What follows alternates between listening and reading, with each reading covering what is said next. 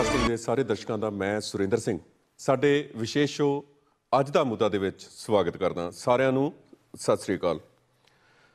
ਅੱਜ ਅਸੀਂ ਇੱਕ ਵਿਸ਼ੇਸ਼ ਜਿਹੜਾ ਮੁੱਦਾ ਹੈਗਾ ਉਹ ਲੈ ਕੇ ਆਏ ਹਾਂ ਤੇ ਅਸੀਂ ਸਾਰੇ ਪੰਜਾਬ ਦੇ ਸਿੱਖਾਂ ਬਾਰੇ, ਪੰਜਾਬ ਬਾਰੇ, ਪੰਜਾਬ ਦੀ ਮਿੱਟੀ ਬਾਰੇ ਵਿਦੇਸ਼ਾਂ ਦੀ ਧਰਤੀ ਦੇ ਉੱਤੇ ਵਸਦੇ ਪੰਜਾਬੀਆਂ ਬਾਰੇ ਹਮੇਸ਼ਾ ਗੱਲ ਕਰਦੇ ਆਏ ਹਾਂ।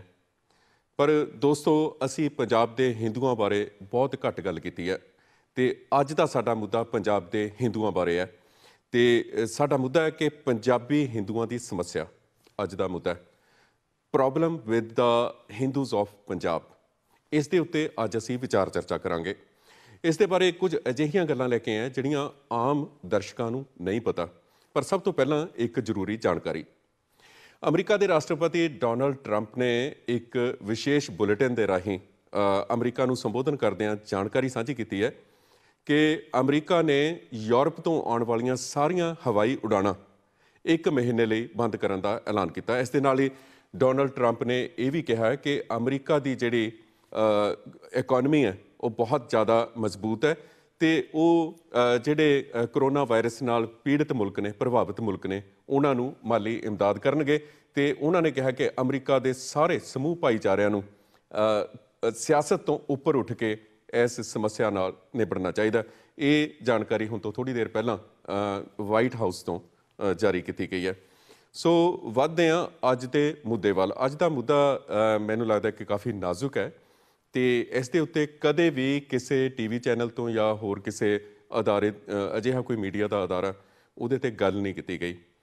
ਸਾਡੀ ਡਿਊਟੀ ਬਣਦੀ ਸੀ, ਸਾਡਾ ਫਰਜ਼ ਬਣਦਾ ਸੀ ਕਿ ਇਸ ਵਿਸ਼ੇ ਦੇ ਉੱਤੇ ਗੱਲਬਾਤ ਕੀਤੀ ਜਾਏ। ਪੰਜਾਬ ਦੇ ਹਿੰਦੂਆਂ ਦੀ ਸਮੱਸਿਆ ਕੀ ਹੈ? ਜਦੋਂ ਅਸੀਂ 1985 ਤੋਂ ਖਾਸ ਕਰਕੇ 1996 ਤੱਕ ਦੇ ਸਾਰੇ ਅਖਬਾਰਾਂ ਨੂੰ ਵਾਚਿਆ, ਉਹਨਾਂ ਤੇ ਸਟੱਡੀ ਕੀਤੀ ਰਿਸਰਚ ਕੀਤੀ ਕਿ ਪੰਜਾਬ ਦੇ ਵਿੱਚ ਕਿੰਨੇ ਹਿੰਦੂਆਂ ਦਾ ਕਤਲ ਹੋਇਆ, ਖਾਸ ਕਰਕੇ ਜੁਝਾਰੂਵਾਦ ਦੇ ਸਮੇਂ ਦੇ ਦੌਰਾਨ, ਤੇ ਕਿੰਨੇ ਸਿੱਖਾਂ ਦਾ ਕਤਲ ਹੋਇਆ। ਤੇ ਕਿਹੜੇ-ਕਿਹੜੇ ਲੋਕ ਕਿਸ ਤਰੀਕੇ ਨਾਲ ਮਾਰੇ ਗਏ? ਇਸ ਦੇ ਬਾਰੇ ਇੱਕ ਵਿਸਥਾਰਤ ਰਿਪੋਰਟ ਅਸੀਂ ਆਉਣ ਵਾਲੇ ਦਿਨਾਂ ਦੇ ਵਿੱਚ ਪੇਸ਼ ਕਰਾਂਗੇ ਤੁਹਾਡੇ ਕੋਲ।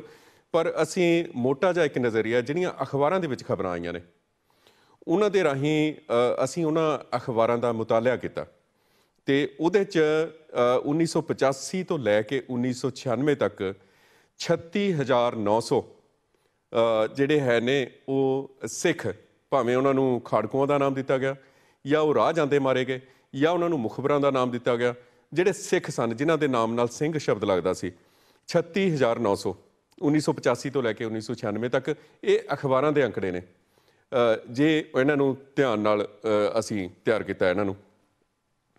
ਤੇ ਇਹ ਅੰਕੜਿਆਂ ਦੇ ਵਿੱਚ ਉਹ ਲੋਕ ਸ਼ਾਮਲ ਨਹੀਂ ਨੇ, ਉਹ ਸਿੱਖ ਸ਼ਾਮਲ ਨਹੀਂ ਨੇ ਜਿਨ੍ਹਾਂ ਨੂੰ ਲਾਵਾਰਸ ਕਰਾਰ ਦੇ ਕੇ ਉਹਨਾਂ ਦੀਆਂ ਲਾਸ਼ਾਂ ਦਾ ਸੰਸਕਾਰ ਕਰ ਦਿੱਤਾ ਗਿਆ। ਜਿਵੇਂ ਕਿ ਸ਼ਹੀਦ ਜਸਵੰਤ ਸਿੰਘ ਖਾਲੜਾ ਹੋਰਾਂ ਨੇ ਇਸ ਇੱਕ ਬਹੁਤ ਵੱਡੇ ਜਿਹੜਾ ਅਸੀਂ ਕਤਲੇਆਮ ਸੀ, ਉਹਦਾ ਖੁਲਾਸਾ ਕੀਤਾ ਸੀ। ਉਹਦਾ ਜ਼ਿਕਰ ਨਹੀਂ ਹੈਗਾ ਇਹਨਾਂ ਅੰਕੜਿਆਂ ਦੇ ਵਿੱਚ। ਤੇ ਮੋٹے ਤੌਰ ਦੇ ਉੱਤੇ ਵੈਸੇ ਅਸੀਂ 1.5 ਲੱਖ ਦੀ ਗਿਣਤੀ ਮੰਨਦੇ ਹਾਂ ਕਿ ਸਿੱਖਾਂ ਦਾ ਕਤਲ ਹੋਇਆ ਇਸ ਸਾਰੇ ਸਮੇਂ ਦੇ ਦੌਰਾਨ। ਉਹ ਅਸੀਂ ਸਮਾਂ 1978 ਤੋਂ ਅਸੀਂ ਲੈਨੇ ਆ ਪਰ ਐਸੇ ਸਮੇਂ ਦੌਰਾਨ ਜਿਹੜੇ ਹਿੰਦੂਆਂ ਦਾ ਕਤਲ ਹੋਇਆ ਪੰਜਾਬ ਦੇ ਵਿੱਚ ਉਹਨਾਂ ਦੀ ਗਿਣਤੀ 1277 ਹੈ। ਤੇ ਜਿਹੜੇ ਅਖਬਾਰਾਂ ਦੇ ਅੰਕੜੇ ਨੇ, ਉਹ, ਉਹਨਾਂ ਨੂੰ ਅਸੀਂ ਅਧਿਐਨ ਕਰੀਏ ਤਾਂ ਉਹ ਗਿਣਤੀ 1277 ਬਣਦੀ ਹੈ ਕਿ ਪੰਜਾਬ ਦੇ ਵਿੱਚ ਸਿਰਫ 1277 ਵੈਸੇ ਇੱਕ ਕਤਲ ਵੀ ਬਹੁਤ ਵੱਡੀ ਗੱਲ ਹੁੰਦੀ ਹੈ। ਤੇ ਕੀ ਸਿੱਖ ਕਤਲ ਕਰ ਸਕਦਾ ਕਿ ਸਿੱਖ ਜਿਹੜਾ ਧਾਰਮਿਕ ਹੈ, ਜਿਸ ਨੇ ਆਪਣੇ ਮਜ਼ਹਬ ਪ੍ਰਤੀ ਚੇਸ਼ਟਾ ਜ਼ਾਹਰ ਕੀਤੀ ਹੁੰਦੀ ਹੈ, ਕਿ ਉਹ ਕਿਸੇ ਹਿੰਦੂ ਦਾ ਕਤਲ ਕਰ ਸਕਦਾ ਹੈ? ਤੇ ਇਹ ਸਾਡੇ ਅੱਜ ਦੇ ਇਸ ਪ੍ਰੋਗਰਾਮ ਦਾ ਹਿੱਸਾ ਹੈ। 1277 ਹਿੰਦੂਆਂ ਦਾ ਕਤਲ ਹੋਇਆ। ਬਲਰਾਮ ਜਾਖੜ ਦਾ ਅ, ਸਪੁੱਤਰ ਹੈ ਸੁਨੀਲ ਜਾਖੜ ਬੀਬੀ ਰਾਜਿੰਦਰ ਕੌਰ ਭੱਠਲ ਤੇ ਅਸੀਂ ਅ, ਲక్ష్ਮੀ ਕਾਂਤਾ ਚਾਵਲਾ ਤੇ ਸਤਪਾਲ ਡਾਂਗ ਬਿਮਲਾ ਡਾਂਗ ਇਹ ਦੋਵੇਂ ਪਤੀ ਪਤਨੀ ਕਮਿਊਨਿਸਟ ਪਾਰਟੀਆਂ ਦੇ ਨਾਲ ਸੰਬੰਧਿਤ ਨੇ ਅੰਮ੍ਰਿਤਸਰ ਨੂੰ ਬਿਲੋਂਗ ਕਰਦੇ ਨੇ। ਤੇ ਇਹਨਾਂ ਲੋਕਾਂ ਨੇ ਗਾਹੇ ਬਗਾਹੇ ਅੱਗੇ ਪਿੱਛੇ ਕਾਫੀ ਬਿਆਨ ਦਿੱਤੇ ਨੇ। ਇਹਨਾਂ ਨੇ ਇਹ ਗਿਣਤੀ ਜਿਹੜੀ 1277 ਸਾਡੇ ਸਾਹਮਣੇ ਆ ਅਖਬਾਰਾਂ ਦੇ ਵਿੱਚ, ਇਸ ਨੂੰ 50000 ਬਣਾ ਕੇ ਦੱਸਿਆ ਕਿ ਪੰਜਾਬ ਦੇ ਵਿੱਚ ਸਿੱਖ ਅੱਤਵਾਦੀਆਂ ਨੇ, ਉਹਨਾਂ ਨੇ ਸ਼ਬਦ ਇੱਕ ਵਰਤਿਆ, ਸਿੱਖ ਅੱਤਵਾਦੀ, ਕਿ ਸਿੱਖ ਅੱਤਵਾਦੀਆਂ ਨੇ 50000 ਤੋਂ ਵੱਧ ਹਿੰਦੂਆਂ ਦਾ ਕਤਲ ਕੀਤਾ। ਇਹ ਗਿਣਤੀ ਉਹਨਾਂ ਨੇ ਦੱਸੀ ਹੈ। ਤੇ ਸੁਨੀਲ ਜਾਖੜ ਨੇ ਤੇ ਬੀਬੀ ਰਜਿੰਦਰ ਕੌਰ ਭੱਠਲ ਨੇ ਤਾਂ ਇੱਥੋਂ ਤੱਕ ਬਿਆਨ ਦਿੱਤਾ ਕਿ ਇਹਨਾਂ 50000 ਹਿੰਦੂਆਂ ਦੀ ਯਾਦਗਾਰ, ਜਿਹੜੇ ਪੰਜਾਬ ਲਈ ਉਹਨਾਂ ਨੇ ਕਿਹਾ ਸ਼ਹੀਦ ਹੋਏ ਨੇ, ਉਹਨਾਂ ਦੀ ਯਾਦਗਾਰ ਪੰਜਾਬ ਦੇ ਵਿੱਚ ਬਣਾਈ ਜਾਏਗੀ ਤੇ ਇਸ ਲਈ ਉਹ ਕਾਫੀ ਸਮੇਂ ਤੋਂ ਜਦੋਜਹਿਦ ਵੀ ਕਰ ਰਹੇ ਨੇ ਇੱਕ ਤਰ੍ਹਾਂ ਦੀ। ਸੋ ਇਹ ਅੰਕੜੇ ਨੇ, ਇਹ ਸਪਸ਼ਟ ਨੇ ਅਖਬਾਰਾਂ ਦੇ ਵਿੱਚ। ਕੇਂਦਰੀ ਏਜੰਸੀਆਂ ਤੇ ਕੇਂਦਰੀ ਭਾਰਤੀ ਮੀਡੀਆ ਜਿਹੜਾ ਹੈ, ਲਗਾਤਾਰ ਇਹ ਸਾਰੇ ਸਮੇਂ ਦੇ ਦੌਰਾਨ ਅਸੀਂ ਦੇਖਦੇ ਹਾਂ ਕਿ ਉਹ ਅਖਬਾਰਾਂ ਦੇ ਜ਼ਰੀਏ ਜਾਂ ਉਹ ਰੇਡੀਓ ਦੇ ਜ਼ਰੀਏ ਜਾਂ ਦੂਰਦਰਸ਼ਨ ਦੇ ਜ਼ਰੀਏ ਲਗਾਤਾਰ ਇਹ ਬਿਆਨ ਦਿੰਦਾ ਰਿਹਾ, ਇਹ ਸ਼ਬਦ ਬੋਲਦਾ ਰਿਹਾ ਕਿ ਪੰਜਾਬ ਦੇ ਵਿੱਚ ਜਿਹੜਾ ਹਿੰਦੂ ਹੈ ਉਸ ਨੂੰ ਸਿੱਖਾਂ ਤੋਂ ਖਤਰਾ ਹੈ ਤੇ ਇੰਨੀ ਵੱਡੀ ਗਿਣਤੀ ਵਿੱਚ ਹਿੰਦੂਆਂ ਦੀ ਕਤਲੋਗਾਰਤ ਹੋ ਰਹੀ ਹੈ। ਇਹ ਉਹ ਸਾਰੇ ਸਮੇਂ ਦੇ ਦੌਰਾਨ ਪੂਰੇ ਭਾਰਤ ਦੇ ਵਿੱਚ ਪ੍ਰਚਾਰਿਆ ਗਿਆ, ਜਿਸ ਦੇ ਨਾਲ ਭਾਰਤ ਦੇ ਹਿੰਦੂਆਂ ਦਾ ਜਿਹੜਾ ਨਜ਼ਰੀਆ ਪੰਜਾਬ ਦੇ ਪ੍ਰਤੀ ਜਾਂ ਸਿੱਖਾਂ ਦੇ ਪ੍ਰਤੀ ਕੁਝ ਵੱਖਰੀ ਤਰ੍ਹਾਂ ਦਾ ਬਣ ਗਿਆ। ਉਹਦੇ ਨਤੀਜੇ ਨਵੰਬਰ 1984 ਦੇ ਵਿੱਚ ਜਾਂ ਅੱਗੇ ਪਿੱਛੇ ਅਸੀਂ ਦੇਖਦੇ ਹਾਂ ਕਿ ਨਿਕਲਦੇ ਆਏ ਨੇ। ਹੁਣ ਤੱਕ ਅਸੀਂ ਦੇਖਦੇ ਹਾਂ ਕਿ 1984 ਤੋਂ ਬਾਅਦ ਭਾਰਤ ਦੇ ਵਿੱਚ 11 ਤੋਂ ਵੱਧ ਗੁਰਦੁਆਰੇ ਜਿਹੜੇ ਹੈ ਨੇ, ਉਹ ਢਾਹੇ ਜਾ ਚੁੱਕੇ ਨੇ ਤੇ ਬਹੁਤ ਸਾਰੀਆਂ ਥਾਵਾਂ ਦੇ ਉੱਤੇ ਕਿਧਰੇ ਅਜਿਹੀਆਂ ਘਟਨਾਵਾਂ ਵੀ ਹੋਈਆਂ ਨੇ ਜਿੱਥੇ ਸਿੱਖਾਂ ਨਾਲ ਕੁੱਟਮਾਰ ਕੀਤੀ ਗਈ ਹੈ। ਪਰ ਉਹਦਾ ਪ੍ਰਤੀਕਰਮ ਅਸੀਂ ਦੇਖਦੇ ਹਾਂ ਕਿ ਪੰਜਾਬ ਦੇ ਵਿੱਚ ਕਿਤੇ ਨਹੀਂ ਹੋਇਆ। ਨਵੰਬਰ 1984 ਦਾ ਪ੍ਰਤੀਕਰਮ ਪੰਜਾਬ ਦੇ ਵਿੱਚ ਕਿਤੇ ਨਹੀਂ ਹੋਇਆ। ਕੋਈ ਅਜਿਹਾ ਕੋਈ ਵਿਅਕਤੀ ਕਿਤੇ ਮੈਨੂੰ ਲੱਗਦਾ ਕਿ ਧਰਮ ਦੇ ਨਾਮ ਦੇ ਉੱਤੇ ਕਤਲ ਨਹੀਂ ਕੀਤਾ ਗਿਆ ਪੰਜਾਬ ਦੇ ਵਿੱਚ। ਜਿਹੜੀਆਂ ਇਹ 1277 ਦੀਆਂ ਜਿਹੜੀਆਂ ਅਸੀਂ ਗਿਣਤੀ ਦੱਸ ਰਹੇ ਹਾਂ ਹਿੰਦੂਆਂ ਦੀ ਕਤਲ ਹੋਈ ਹੈ, ਇਹ, ਇਹਨੂੰ ਜੇ ਅਧਿਐਨ ਕਰੀਏ, ਇਸ ਨੂੰ ਡੂੰਘਾਈ ਦੇ ਨਾਲ ਵਾਚੀਏ, ਜਾਂ ਸਾਡੇ ਸਕਾਲਰ ਨੇ, ਹਿੰਦੂ ਸਕਾਲਰ ਨੇ ਜਾਂ ਸਿੱਖ ਸਕਾਲਰ ਨੇ ਬੈਠ ਕੇ ਇਸ ਦੇ ਉੱਤੇ ਡੂੰਘਾਈ ਦੇ ਨਾਲ ਵਿਚਾਰ ਵਟਾਂਦਰਾ ਕਰਨ, ਇਹਦੇ ਉੱਤੇ ਗੱਲ ਕਰਨ ਦੀ ਕੋਸ਼ਿਸ਼ ਕਰਨ, ਤਾਂ ਇਹ ਸਪਸ਼ਟ ਹੋਏਗਾ ਕਿ ਜਿਹੜੇ ਇਹ ਕਤਲ ਨੇ, ਇਹ ਕਿਸੇ ਸਿੱਖ ਜਮਾਤ ਨੇ, ਕਿਸੇ ਸਿੱਖ ਜਥੇਬੰਦੀ ਨੇ ਜਾਂ ਕਿਸੇ ਧਾਰਮਿਕ ਤੌਰ ਨੂੰ ਤੌਰ ਤੇ ਪ੍ਰਣਾਏ ਹੋਏ ਸਿੱਖ ਵਿਅਕਤੀ ਨੇ ਨਹੀਂ ਕੀਤੇ। ਇਹਦੇ ਪਿੱਛੇ ਕੁਝ ਅਜਿਹੀਆਂ ਤਾਕਤਾਂ ਨੇ ਜਿਨ੍ਹਾਂ ਨੂੰ ਅੱਜ ਅਸੀਂ ਤੁਹਾਡੇ ਸਾਹਮਣੇ ਰੱਖਣ ਦੀ ਕੋਸ਼ਿਸ਼ ਕਰਾਂਗੇ। ਅਸੀਂ ਪੰਜਾਬ ਦੇ ਵਿੱਚ ਜਦੋਂ ਸੀ, ਉਦੋਂ ਆਰਟੀਆਈ ਰਾਹੀਂ ਸਰਕਾਰ ਕੋਲੋਂ ਜਾਣਕਾਰੀ ਲੈਣ ਦੀ ਕੋਸ਼ਿਸ਼ ਕੀਤੀ ਕਿ ਇਹ 1978 ਤੋਂ ਲੈ ਕੇ 1993 ਤੱਕ ਦੇ ਸਮੇਂ ਦੇ ਦੌਰਾਨ ਖਾੜਕੂਆਂ ਹੱਥੋਂ ਮਾਰੇ ਗਏ ਇੱਕ ਫਿਰਕੇ ਦੇ ਲੋਕਾਂ ਭਾਵ ਹਿੰਦੂ ਧਰਮ ਦੇ ਲੋਕਾਂ ਜਾਂ ਹਿੰਦੂ ਮਜ਼ਹਬ ਦੇ ਲੋਕਾਂ ਦੀ ਗਿਣਤੀ ਦੱਸੀ ਜਾਵੇ ਸਾਨੂੰ ਕਿੰਨੀ ਹੈ। ਇਸ ਦੇ ਬਾਰੇ ਲਗਾਤਾਰ ਬੇਨਤੀਆਂ ਕਰਨ ਦੇ ਬਾਵਜੂਦ ਸਾਨੂੰ ਰਾਈਟ ਆਫ ਇਨਫੋਰਮੇਸ਼ਨ ਐਕਟ ਦੇ ਅੰਡਰ ਸਾਨੂੰ ਕੋਈ ਜਾਣਕਾਰੀ ਨਹੀਂ ਦਿੱਤੀ ਗਈ ਸਰਕਾਰ ਵੱਲੋਂ। ਇਹ ਜਾਣਕਾਰੀ ਮੈਂ ਵੀ ਪਾਈ ਸੀਗੀ ਐਪਲੀਕੇਸ਼ਨ ਤੇ ਇੱਕ ਨਵਦੀਪ ਗੁਪਤਾ ਨੇ, ਉਹਨਾਂ ਨੇ ਵੀ ਇਹ ਜਾਣਕਾਰੀ ਮੰਗੀ ਸੀ ਸਰਕਾਰ ਕੋਲੋਂ। ਪਰ ਸਰਕਾਰ ਨੇ ਇਹ ਜਾਣਕਾਰੀ ਨਹੀਂ ਦਿੱਤੀ। ਪਰ ਅਸੀਂ ਇੱਕ ਗੱਲ ਹੋਰ ਦੇਖਦੇ ਹਾਂ ਕਿ ਪੰਜਾਬ ਦੇ ਹਿੰਦੂਆਂ ਦੀ ਜਿਹੜੀ ਗਿਣਤੀ ਹੈ ਇੱਥੇ ਪੀੜਤਾਂ ਦੀ ਵਿਕਟਮਸ ਦੀ ਜਿਹੜੀ ਗਿਣਤੀ ਹੈ, ਜਿਹੜੇ ਮਾਰੇ ਗਏ ਨੇ, ਇਹ ਬਹੁਤ ਜ਼ਿਆਦਾ ਵੱਡਾ ਡਿਫਰੈਂਸ ਹੈ। ਜਦ ਕਿ ਭਾਰਤੀ ਮੀਡੀਆ ਦੇ ਵਿੱਚ ਇਹ ਡਿਫਰੈਂਸ ਹੋਰ ਤਰੀਕੇ ਨਾਲ ਵਧਾ ਕੇ ਦੱਸਿਆ ਗਿਆ। ਉਹਦੇ ਨਾਲ ਜਿੱਥੇ ਆਪਸ ਦੇ ਵਿੱਚ ਪੰਜਾਬ ਦੇ ਹਿੰਦੂ ਤੇ ਜਿਹੜੇ ਸਿੱਖ ਸਨ ਉਹ ਭਰਾਵਾਂ ਵਾਂਗ ਰਹਿ ਰਹੇ ਸਨ। ਆਪਸੀ ਪਿਆਰ ਤੇ ਮਿਲਵਰਤਨ ਨਾਲ ਰਹਿ ਰਹੇ ਸਨ। ਉਹਦੇ 'ਚ ਫ਼ਰਕ ਜ਼ਰੂਰ ਆਇਆ। ਤੇ ਸ਼ਾਇਦ ਇਹੋ ਹੀ ਕਾਰਨ ਹੈ ਕਿ ਕੋਈ ਨਾ ਕੋਈ ਤਾਕਤ ਇਹ ਚਾਹੁੰਦੀ ਸੀ ਕਿ ਪੰਜਾਬ ਦੇ ਹਿੰਦੂ ਤੇ ਸਿੱਖ ਆਪਸ ਦੇ ਵਿੱਚ ਦੂਰ ਦੂਰ ਹੋਣ। ਸ਼ਾਇਦ ਇਹੋ ਹੀ ਕਾਰਨ ਹੈ ਕਿ ਜਦੋਂ ਜਦੋਂ ਪੰਜਾਬ ਦੇ ਹੱਕਾਂ ਦੀ ਗੱਲ ਚੱਲੀ, ਭਾਵੇਂ ਪੰਜਾਬ ਦੇ ਪਾਣੀ ਹੋਣ, ਪੰਜਾਬ ਦੀ ਭਾਸ਼ਾ ਹੋਵੇ ਜਾਂ ਪੰਜਾਬ ਦੇ ਹੋਰ ਹੱਕ ਹੋਣ, ਉਹਨਾਂ ਤੇ ਪੰਜਾਬ ਦਾ ਜਿਹੜਾ ਹਿੰਦੂ ਹੈ ਜਾਂ ਹਿੰਦੂ ਲੀਡਰ ਹੈ, ਉਹ ਖੁੱਲ ਕੇ ਜਿਹੜਾ ਹੈ, ਉਹ ਅੱਗੇ ਨਹੀਂ ਆਇਆ। ਮਸਲਨ ਇਹ ਦੂਰੀਆਂ ਵਧਦੀਆਂ ਗਈਆਂ। ਇਹ ਦੂਰੀਆਂ ਵਧੀਆਂ, ਪਰ ਪੰਜਾਬ ਦੇ ਹਿੰਦੂ ਨੂੰ ਇਸ ਗੱਲ ਦਾ ਬਿਲਕੁਲ ਖਿਆਲ ਨਹੀਂ ਆਇਆ ਕਿ ਉਹ ਖੁਦ ਵੀ ਇੱਕ ਪੀੜਤ ਬਣ ਚੁੱਕਾ ਹੈ। ਸਰਕਾਰ ਦਾ ਪੀੜਤ ਬਣ ਚੁੱਕਾ ਹੈ। ਤੇ ਮੈਂ ਕਹਿੰਦਾ ਕਿ ਸਾਡੇ ਕਾਲਰ ਨੇ ਜਿਹੜੇ ਗੱਲ ਕਰ ਲਈਏ ਤੇ ਫਿਰ ਉਹਨਾਂ ਦੇ ਨਾਲ ਵੀ ਗੱਲਬਾਤ ਸ਼ੁਰੂ ਕਰਾਂਗੇ ਕਿ ਹਿੰਦੂ ਪੀੜਤ ਬਣ ਚੁੱਕਾ ਕਿਵੇਂ ਬਣਿਆ ਕਿ ਬਟਾਲਾ, ਗੁਰਾਇਆ, ਮੰਡੀ ਗੋਬਿੰਦਗੜ੍ਹ, ਲੁਧਿਆਣਾ ਤੇ ਅਸੀਂ ਦੇਖਦੇ ਹਾਂ ਕਿ ਜਲੰਧਰ ਸਪੋਰਟਸ ਇੰਡਸਟਰੀ, ਇਹ ਸਮੁੱਚੇ ਤੌਰ ਤੇ ਜਿਹੜੀ ਇੰਡਸਟਰੀ ਸੀ, ਇਹ ਹਿੰਦੂਆਂ ਦੇ ਹੱਥ 'ਚ ਸੀਗੀ। ਹਿੰਦੂ ਜਿਹੜੇ ਐਂਟਰਪ੍ਰੀਨਰ ਸੀਗੇ, ਉਹਨਾਂ ਦੇ ਹੱਥ 'ਚ ਸੀ। ਪਰ ਇਹ ਅੱਜ ਇੰਡਸਟਰੀ ਹੈ ਕਿੱਥੇ ਹੈ? ਤੇ ਜੇ ਅਸੀਂ ਸਿੱਖ ਕਿਸਾਨਾਂ ਦੀਆਂ ਖੁਦਕੁਸ਼ੀਆਂ ਦੀ ਗੱਲ ਕਰਦੇ ਹਾਂ, ਤਾਂ ਮੈਨੂੰ ਲੱਗਦਾ ਕਿ ਅਸੀਂ ਇੱਕ ਰਿਪੋਰਟ ਤਿਆਰ ਕੀਤੀ ਸੀ ਤੇ ਬਹੁਤ ਸਾਰੇ ਜਿਹੜੇ ਹਿੰਦੂ ਵੀਰ ਨੇ, ਉਹ ਮੈਨੂੰ ਮੇਰੇ ਨਾਲ ਗਿਲਾ ਵੀ ਕਰਦੇ ਨੇ ਕਿ ਤੁਸੀਂ ਸਾਡੇ ਬਾਰੇ ਕੋਈ ਗੱਲ ਨਹੀਂ ਕਰਦੇ। ਮੈਂ ਇੱਕ ਰਿਪੋਰਟ ਤਿਆਰ ਕੀਤੀ ਸੀ, ਜਿਸ ਦੇ ਵਿੱਚ ਮੈਂ ਦੱਸਿਆ ਸੀ ਕਿ ਇਕੱਲੇ ਗੋਬਿੰਦਗੜ੍ਹ ਦੇ ਵਿੱਚ ਜਿਹੜਾ ਹੈ, ਉਹ ਕਰਜ਼ੇ ਦੀ ਮਾਰ ਕਾਰਨ ਤੇ ਸਰਕਾਰੀ ਨੀਤੀਆਂ ਤੋਂ ਤੰਗ ਆ ਕੇ ਜਿਹੜੇ ਸਟੀਲ ਇੰਡਸਟਰੀ ਨਾਲ ਸੰਬੰਧਿਤ ਹਿੰਦੂ ਸਨ, ਉਹਨਾਂ ਨੇ 37 ਲੋਕ ਸਨ, ਉਹਨਾਂ ਨੇ ਖੁਦਕੁਸ਼ੀ ਕੀਤੀ ਸੀ। ਉਹਨਾਂ ਬਾਰੇ ਉਸ ਤਰੀਕੇ ਨਾਲ ਰਿਪੋਰਟ ਅੱਗੇ ਨਹੀਂ ਕੀਤੀ ਗਈ। ਸੋ ਅਸੀਂ ਜਿੱਥੇ-ਜਿੱਥੇ ਪੰਜਾਬ ਦੇ ਕਿਸਾਨਾਂ ਦੀਆਂ ਖੁਦਕੁਸ਼ੀਆਂ ਦੀ ਗੱਲ ਕੀਤੀ ਹੈ, ਉੱਥੇ ਨਾਲ ਇਹਨਾਂ ਵੀਰਾਂ ਦੀ ਵੀ ਗੱਲ ਕੀਤੀ ਹੈ, ਜਿਨ੍ਹਾਂ ਨੇ ਸਰਕਾਰੀ ਨੀਤੀਆਂ ਤੋਂ ਤੰਗ ਆ ਕੇ ਤੇ ਕਰਜ਼ੇ ਤੋਂ ਤੰਗ ਆ ਕੇ ਖੁਦਕੁਸ਼ੀਆਂ ਕੀਤੀਆਂ ਤੇ ਉਹਨਾਂ ਦਾ ਜਿਹੜਾ ਬਿਜ਼ਨਸ ਸੀਗਾ, ਜਿਹੜੀ ਉੱਥੇ ਉਹਨਾਂ ਦਾ ਉਤਪਾਦਨ ਸੀ ਉਹ ਗਿਰਾਵਟ ਵੱਲ ਗਿਆ ਤੇ ਉਹ, ਉਸ ਦੀ ਵੀ ਮਾਰ ਉਹਨਾਂ ਨੂੰ ਸਹਿਣੀ ਪਈ। ਇਹ ਇਹ ਗੱਲ ਅਸੀਂ ਦੇਖ ਰਹੇ ਹਾਂ ਕਿ ਇਹ ਇੰਡਸਟਰੀ ਬਟਾਲਾ, ਗੁਰਾਇਆ ਦੀ, ਲੁਧਿਆਣਾ ਦੀ, ਜਲੰਧਰ ਦੀ ਸਪੋਰਟਸ ਇੰਡਸਟਰੀ ਤੇ ਗੋਬਿੰਦਗੜ੍ਹ ਦੀ ਇੰਡਸਟਰੀ ਇਹ ਤਕਰੀਬਨ ਖਤਮ ਹੋ ਚੁੱਕੀਆਂ ਨੇ। ਇਹਨਾਂ ਦਾ ਕਾਰਨ ਕੀ ਹੈ? ਇਹਨਾਂ ਨੂੰ ਨਾ ਤਾਂ ਹਿੰਦੂ ਲੀਡਰ ਨੇ ਤੇ ਨਾ ਹਿੰਦੂ ਭਰਾਵਾਂ ਨੇ ਸਮਝਣ ਦੀ ਕੋਸ਼ਿਸ਼ ਕੀਤੀ। ਕਿਤੇ ਇਹ ਪਾੜਾ ਜਿਹੜਾ ਹੈ, ਕਿਤੇ ਇਸ ਨੂੰ ਜਾਣਬੁੱਝ ਕੇ ਵਧਾਇਆ ਗਿਆ। ਇਸ ਮੁਕਾਮ ਤੇ ਲੈਣ ਦਾ ਕਿ ਹੁਣ ਦੋਵੇਂ ਧਿਰਾਂ ਇੱਕ ਦੂਜੇ ਨਾਲ ਭਾਵੇਂ ਉਹ ਪੰਜਾਬ ਦੀ ਆਜ਼ਾਦੀ ਹੋਵੇ ਜਾਂ ਪੰਜਾਬ ਦੇ ਹੱਕ ਹੋਣ, ਇੱਕ ਦੂਜੇ ਨਾਲ ਇਹ ਦੂਰੀਆਂ ਰੱਖ ਰਹੀਆਂ ਨੇ। ਇਹ ਮਸਲਾ ਕਾਫੀ ਸੋਚਣ ਦਾ। ਇੱਥੇ ਇੱਕ ਬ੍ਰੇਕ ਲਈ ਰੁਕਦੇ ਹਾਂ ਛੋਟਾ ਜਿਹਾ ਬ੍ਰੇਕ ਤੇ ਅੱਗੇ ਇਸ ਤੋਂ ਤੋਰਾਂਗੇ। ਮਸਲਾ ਨਾਜ਼ੁਕ ਬਹੁਤ ਹੈ ਤੇ ਇਸ ਦੇ ਉੱਤੇ ਸਾਡੇ ਇੱਕ ਹਿਸਟਰੀ ਦੇ ਐਨਾਲਿਸਟ ਨੇ, ਕੇ ਐਸ ਚੱਠਾ, ਉਹਨਾਂ ਦੇ ਨਾਲ ਵੀ ਗੱਲਬਾਤ ਕਰਾਂਗੇ। ਤੇ ਇੱਕ ਬ੍ਰੇਕ ਤੋਂ ਬਾਅਦ ਮਿਲਦੇ ਹਾਂ ਜਲਦੀ। ਬ੍ਰੇਕ ਤੋਂ ਬਾਅਦ ਤੁਹਾਡਾ ਸਾਰਿਆਂ ਦਾ ਇੱਕ ਵਾਰ ਫਿਰ ਤੋਂ ਸਵਾਗਤ ਹੈ ਪ੍ਰੋਗਰਾਮ ਅੱਜ ਦਾ ਮੁੱਦਾ 'ਚ। ਅੱਜ ਦਾ ਮੁੱਦਾ 'ਚ ਅਸੀਂ ਗੱਲ ਕਰ ਰਹੇ ਹਾਂ ਪੰਜਾਬ ਦੇ ਹਿੰਦੂਆਂ ਦੀ ਸਮੱਸਿਆ ਤੇ। ਪੰਜਾਬ ਦੇ ਹਿੰਦੂਆਂ ਦੀ ਸਮੱਸਿਆ ਹੈ ਕਿ ਉਹ ਜਿਹੜੇ ਪੰਜਾਬ ਦੇ ਹੱਕ ਨੇ, ਪੰਜਾਬ ਦੇ ਮਸਲੇ ਨੇ, ਉਹਨਾਂ ਦੇ ਉੱਤੇ ਖੁੱਲ੍ਹ ਕੇ ਗੱਲ ਨਹੀਂ ਕਰਦੇ, ਖੁੱਲ੍ਹ ਕੇ ਅੱਗੇ ਨਹੀਂ ਆਉਂਦੇ। ਇਹ ਇੱਕ ਤਰ੍ਹਾਂ ਦੀ, ਇਹ, ਇਹਦੇ 'ਚ ਆਪਸ ਦੇ ਵਿੱਚ ਕਿਤੇ ਨਾ ਕਿਤੇ ਅਸੀਂ ਦੇਖਦੇ ਹਾਂ ਕਿ ਕੁੜੱਤਣ ਹੈ। ਦੂਰੀਆਂ ਨੇ ਦੂਰੀਆਂ ਪੈਦਾ ਕੀਤੀਆਂ ਨੇ ਕਿਸੇ ਤਾਕਤ ਨੇ। ਕੌਣ ਤਾਕਤ ਆ ਉਹ? ਇਹ ਨਫ਼ਰਤ ਲਈ ਜ਼ਿੰਮੇਵਾਰ ਕੌਣ ਹੈ?